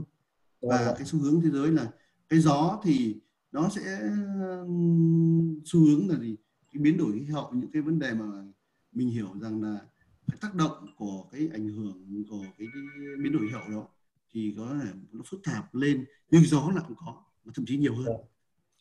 Nên là em cũng, dạ. em cũng đồng ý với anh đó là thực ra cái nguyên nhân mà hiện tại Việt Nam vì sao cái điện mặt trời nó lại phát triển nóng hơn cái điện gió thì đấy như em bảo là tại vì cái chi phí đầu tư ban đầu nó thấp hơn. Đấy, cái chi phí bảo dưỡng cũng như ban đầu cái thứ nó thấp hơn vì cái điện mặt trời. Đấy là cái lý do mà điện mặt trời nó chiếm ưu thế. Nhưng mà thật ra thì em cũng biết là rất nhiều nhà đầu tư ở Việt Nam đầu tư theo kiểu phong trào thôi mà. Rất nhiều công ty, thậm chí trước đấy không hề có, tức là cái ngành kinh doanh họ không hề liên quan gì về mặt công nghệ hay về mặt trời, cũng cố gắng chuyển đổi cái quỹ đất họ có để đầu tư năng lượng mặt trời thứ. Thì em biết là cái kiểu cái miếng bánh điện tái tạo ở Việt Nam nó đang rất là lớn và tức là em nghĩ là em tức là cái việc đầu tư em thấy là nó hơi negative tức là nó hơi hơi hơi hơi cái có có, có cái có cái mục đích khác nhiều hơn là cái chuyện là đó là để giúp đích okay, cho quốc gia này okay, kia thì đấy. ý ý bạn vừa chia sẻ. Có những cái, gọi là cái mục đích hay lợi ích gì khác thì chúng ta cũng không bàn trong đây. Nhưng hỏi về nhưng mà cái điện gió như em em em đồng ý với anh là cái điện gió thì em hy vọng là trong năm 10 năm nữa khi mà Việt Nam có đủ năng lực về mặt tài chính thì rõ ràng anh bảo nghe ngay về mặt tiềm năng thì điện gió sẽ lớn hơn. Về cả cũng như hiệu quả thì điện gió sẽ lớn hơn điện mặt trời. Đấy hiện tại okay. thì uh, như nhưng mà đấy thì trong nói là cái cái, cái, năng lượng hoặc là cái tiềm năng của cái điện thủy triều nó hơi thấp mình đang nghĩ là nó sẽ cao hơn một gigawatt mà cái cái, cái gọi là cái bờ biển Việt Nam 3.000 km như vậy và mình cũng là phân giới ở cái, uh, giữa một bên là Ấn Độ Dương sang Thái Bình Dương. Cho tới là vâng. mình cũng chính giữa phân dưới. Nhưng uh, cái, cái về dòng thủy triều thì mình hiểu rằng là nó cái tiềm năng của thủy triều sẽ cao hơn cái số liệu mà bạn chia sẻ vừa rồi một gigawatt cho cái um, uh, tiềm năng của thị trường đấy là số liệu từ cái em có thể chia sẻ cho anh cái nguồn số liệu đấy luôn đó là từ cái cơ quan năng lượng quốc tế thì phải.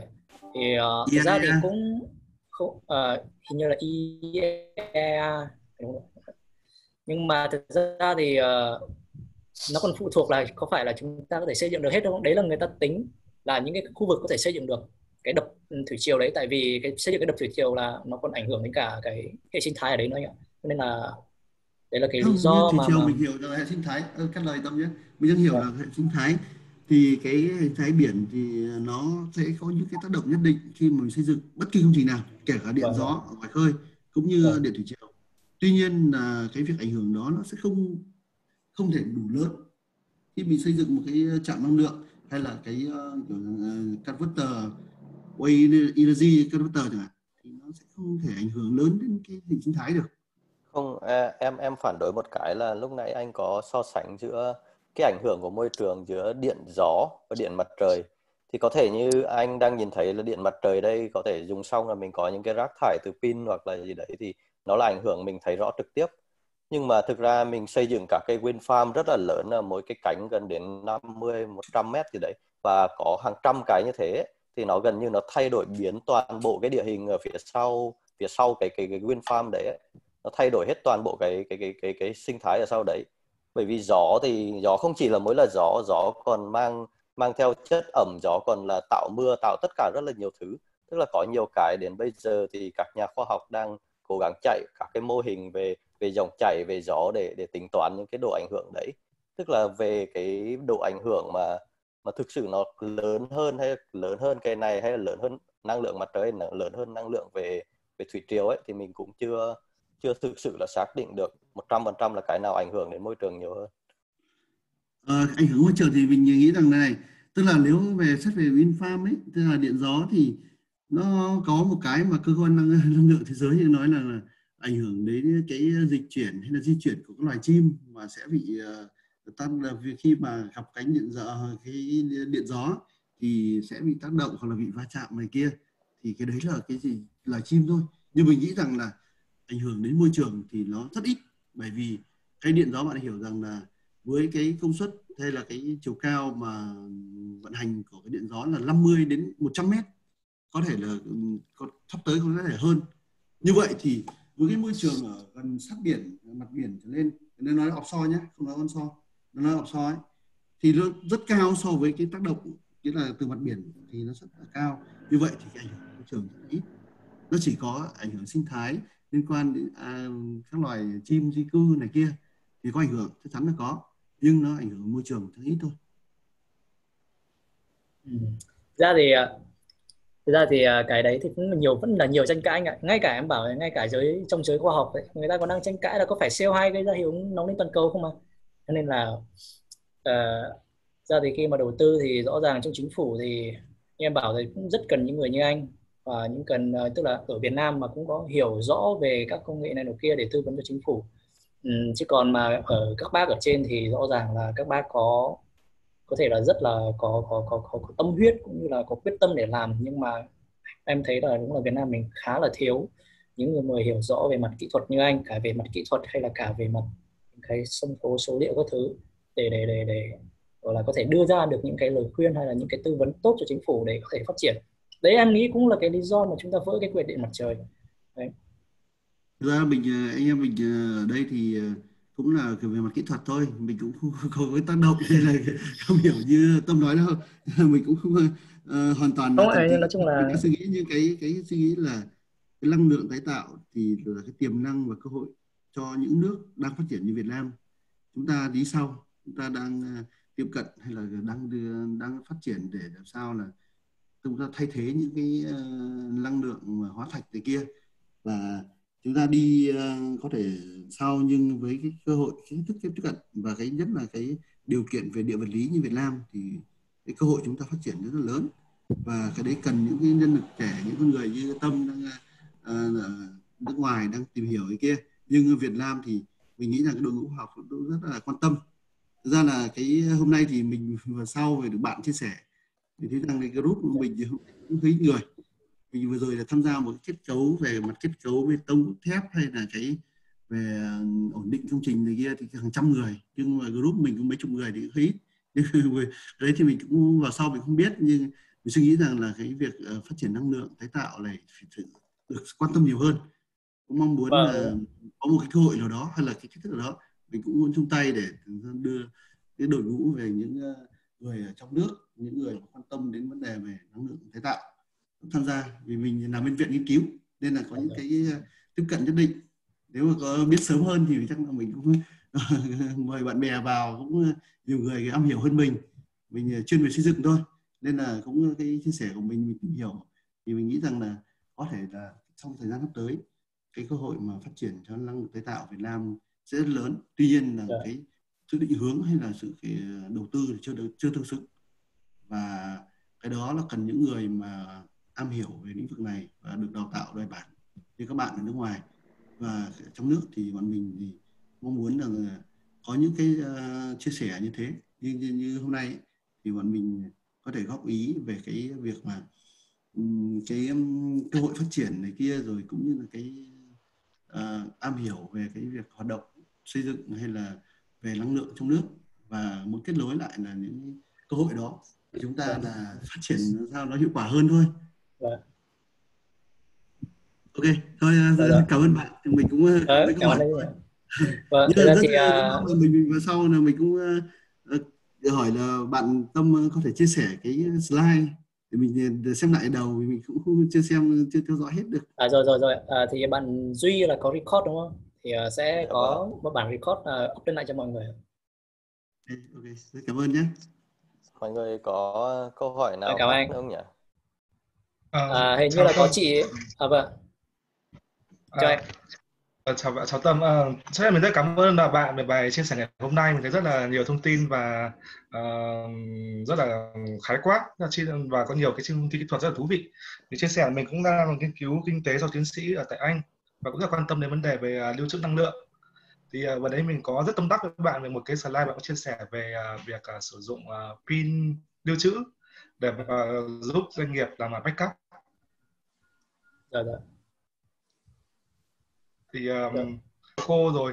Mình uh, và rất hay mất điện. Và, và doanh nghiệp nếu mà sử dụng những cái máy phát điện bằng đi diesel thì đi rất diesel là không? phát môi trường. Vậy thì nên mình rất quan tâm cái hướng là sử dụng uh, cái pin lưu trữ. Thì bạn vừa nói là sử dụng pin lưu trữ ở quy mô lớn chẳng hạn như là ở sân bay. Thì muốn hỏi xem là cái giá thành hiện tại và giải pháp kỹ thuật thì có, có thể áp dụng được cho các doanh nghiệp và uh, vừa nhỏ hơn không? Hay là phải là cỡ lớn như là cỡ sân bay? Và à, nếu mà dạ. có thông tin mà chi tiết hơn một chút về trạng à, ok ok ok rồi rồi. Thì em cũng chia sẻ luôn với anh tại vì cái đấy là cái em đang hỗ trợ một cái dự án ở Việt Nam luôn. Thì uh, về đầu tiên là về mặt à, tốt quá tuyệt vời. Và đầu tiên về mặt giá thành nhé thì uh, chính chia sẻ đến cái này đáng nhẽ em sẽ không được nói đâu nhưng mà thôi về mặt giá thành thế tại vì cái công ty mà cung cấp mà em đang hợp tác với đấy là công ty của anh. Là nếu mà anh à. sẽ tìm hiểu là Red Red Tea Energy em sẽ đây em sẽ đây, gõ ở đây luôn. Đấy tức là công ty uh, cung cấp cái hệ thống pin này. Thật ra thì có trên thế giới thì có hiện tại thì có khoảng uh, hơn chục cái nhà cung cấp cái hệ thống pin này tại vì cái chi phí đầu tư nghiên cứu và sản xuất nó rất là lớn cho nên là cũng không dám không có nhiều nhà đầu tư nghiên cứu. Nhưng mà cái công ty mà em đang hợp tác là công ty của UK uh, ờ, thì cái giá hiện tại ấy, họ chào bán trên thị trường. Nếu anh tính ra một kW giờ điện là uh, một nghìn khoảng 1.700 đô la Mỹ trên một kW giờ điện. Anh Hà đây nhá biết anh Hà có thể nắm được cái thông tin về giá điện ấy, thì nó quá là khủng khiếp thậm chí nó còn đắt gấp nó lại phải đắt gấp 5 gấp 6 lần so với cái giá từ cái từ cái pin mặt trời ra ấy. thì đấy là cái giá họ chào bán thị trường. Cái giá đấy thì bao gồm cả uh, hệ thống pin này bao gồm cả hệ thống uh, bao gồm cả dịch vụ bảo trì trong vòng 20 năm. Đấy là cái giá chào bán. Thế nhưng mà khi bọn em vào làm trực tiếp với họ ấy thì nói đến cái chuyện nếu mà chuyển giao công nghệ rồi thì nếu mà bọn tao cho mày xây dựng nhà máy sản xuất ở Việt Nam hoặc là bọn tao xây nhà máy xong rồi mày sang đấy lắp đặt cái thứ. Thì sau quá trình đàm phán ấy thì hiện tại cái giá mà em deal được là khoảng 700 tức là đã giảm tới tận 1 phần 3 đây giảm khoảng 1 phần 3 hơn 1 phần 3 à, giảm gần 1 phần 3 à, giảm gần 2 phần 3 chứ. Còn còn khoảng 700 uh, 700 đô trên một kWh giờ điện. Thế nhưng mà nó vẫn rất là đắt. Nó cao so Việt Nam. Vâng rất là cao. Hiện tại thì rất là khó để ở Việt Nam sử dụng được. Còn về cái quy mô ấy thì cái sân bay thì chỉ là một cái mô hình nhỏ thôi nhưng mà với quy một cái cái cái quy tại vì cái pin này ấy, khi mà cái dung lượng nó càng lớn thì giá thành nó càng giảm. Đấy, tại vì hiểu rồi mà. Cái gì nó càng lớn, mass mass production thì nó giảm. Thì cái pin này cũng thế. Dung lượng nó càng lớn thì cái giá trên một đơn vị, năng lượng ấy, nó sẽ càng giảm. Thế nhưng mà cái module mà anh cần đấy từng cho những cái khu tòa nhà nhỏ thì cũng có có thể làm được. Nhưng mà giá nó đắt thôi, có thể làm được, hoàn toàn làm được luôn. Tức là hiện tại thì bọn em cũng có những cái pin tầm khoảng, hiện tại cái hệ thống nhỏ nhất mà cái công ty này cung cấp được mà hiện tại trên thế giới chỉ có công ty cung cấp được cái quy mô đấy là tầm khoảng 200 à 150 kWh. 100 kW 150 kWh, tức là cái quy mô, tức là cái hệ thống nhỏ nhất trong cái hệ thống pin này. Thì công ty này cung cấp được 100 150 là em nghĩ là vừa đủ thoải mái luôn, vừa đủ cho một cái tòa nhà. Nhưng mà nếu mà cái tòa, nếu mà chỉ dùng cho một hộ gia đình ấy, thì rất là khó. Dùng cho một hộ gia đình thì ờ, chi phí nó rất là lớn. Trung Quốc nó đang làm cái này ấy. Trung Quốc nó đang sản xuất em không rõ là nó có có thể giảm được cái giá thành để thay thế được cho cái uh, máy phát điện không? Tất nhiên nó rất là nó tiện hơn nhiều so với máy phát điện. Máy phát điện tại vì anh còn này phải chạy ra quay máy phát điện trong chờ một lúc thì mới, mới, mới bộ hóa cái thứ. Cái này có thể có thể bật luôn. Mất phát là có thể chuyển một cái một cái relay có thể chuyển phát là có thể ra có điện luôn. Thì uh, thì đấy là cái ưu cái ưu điểm. Thì uh,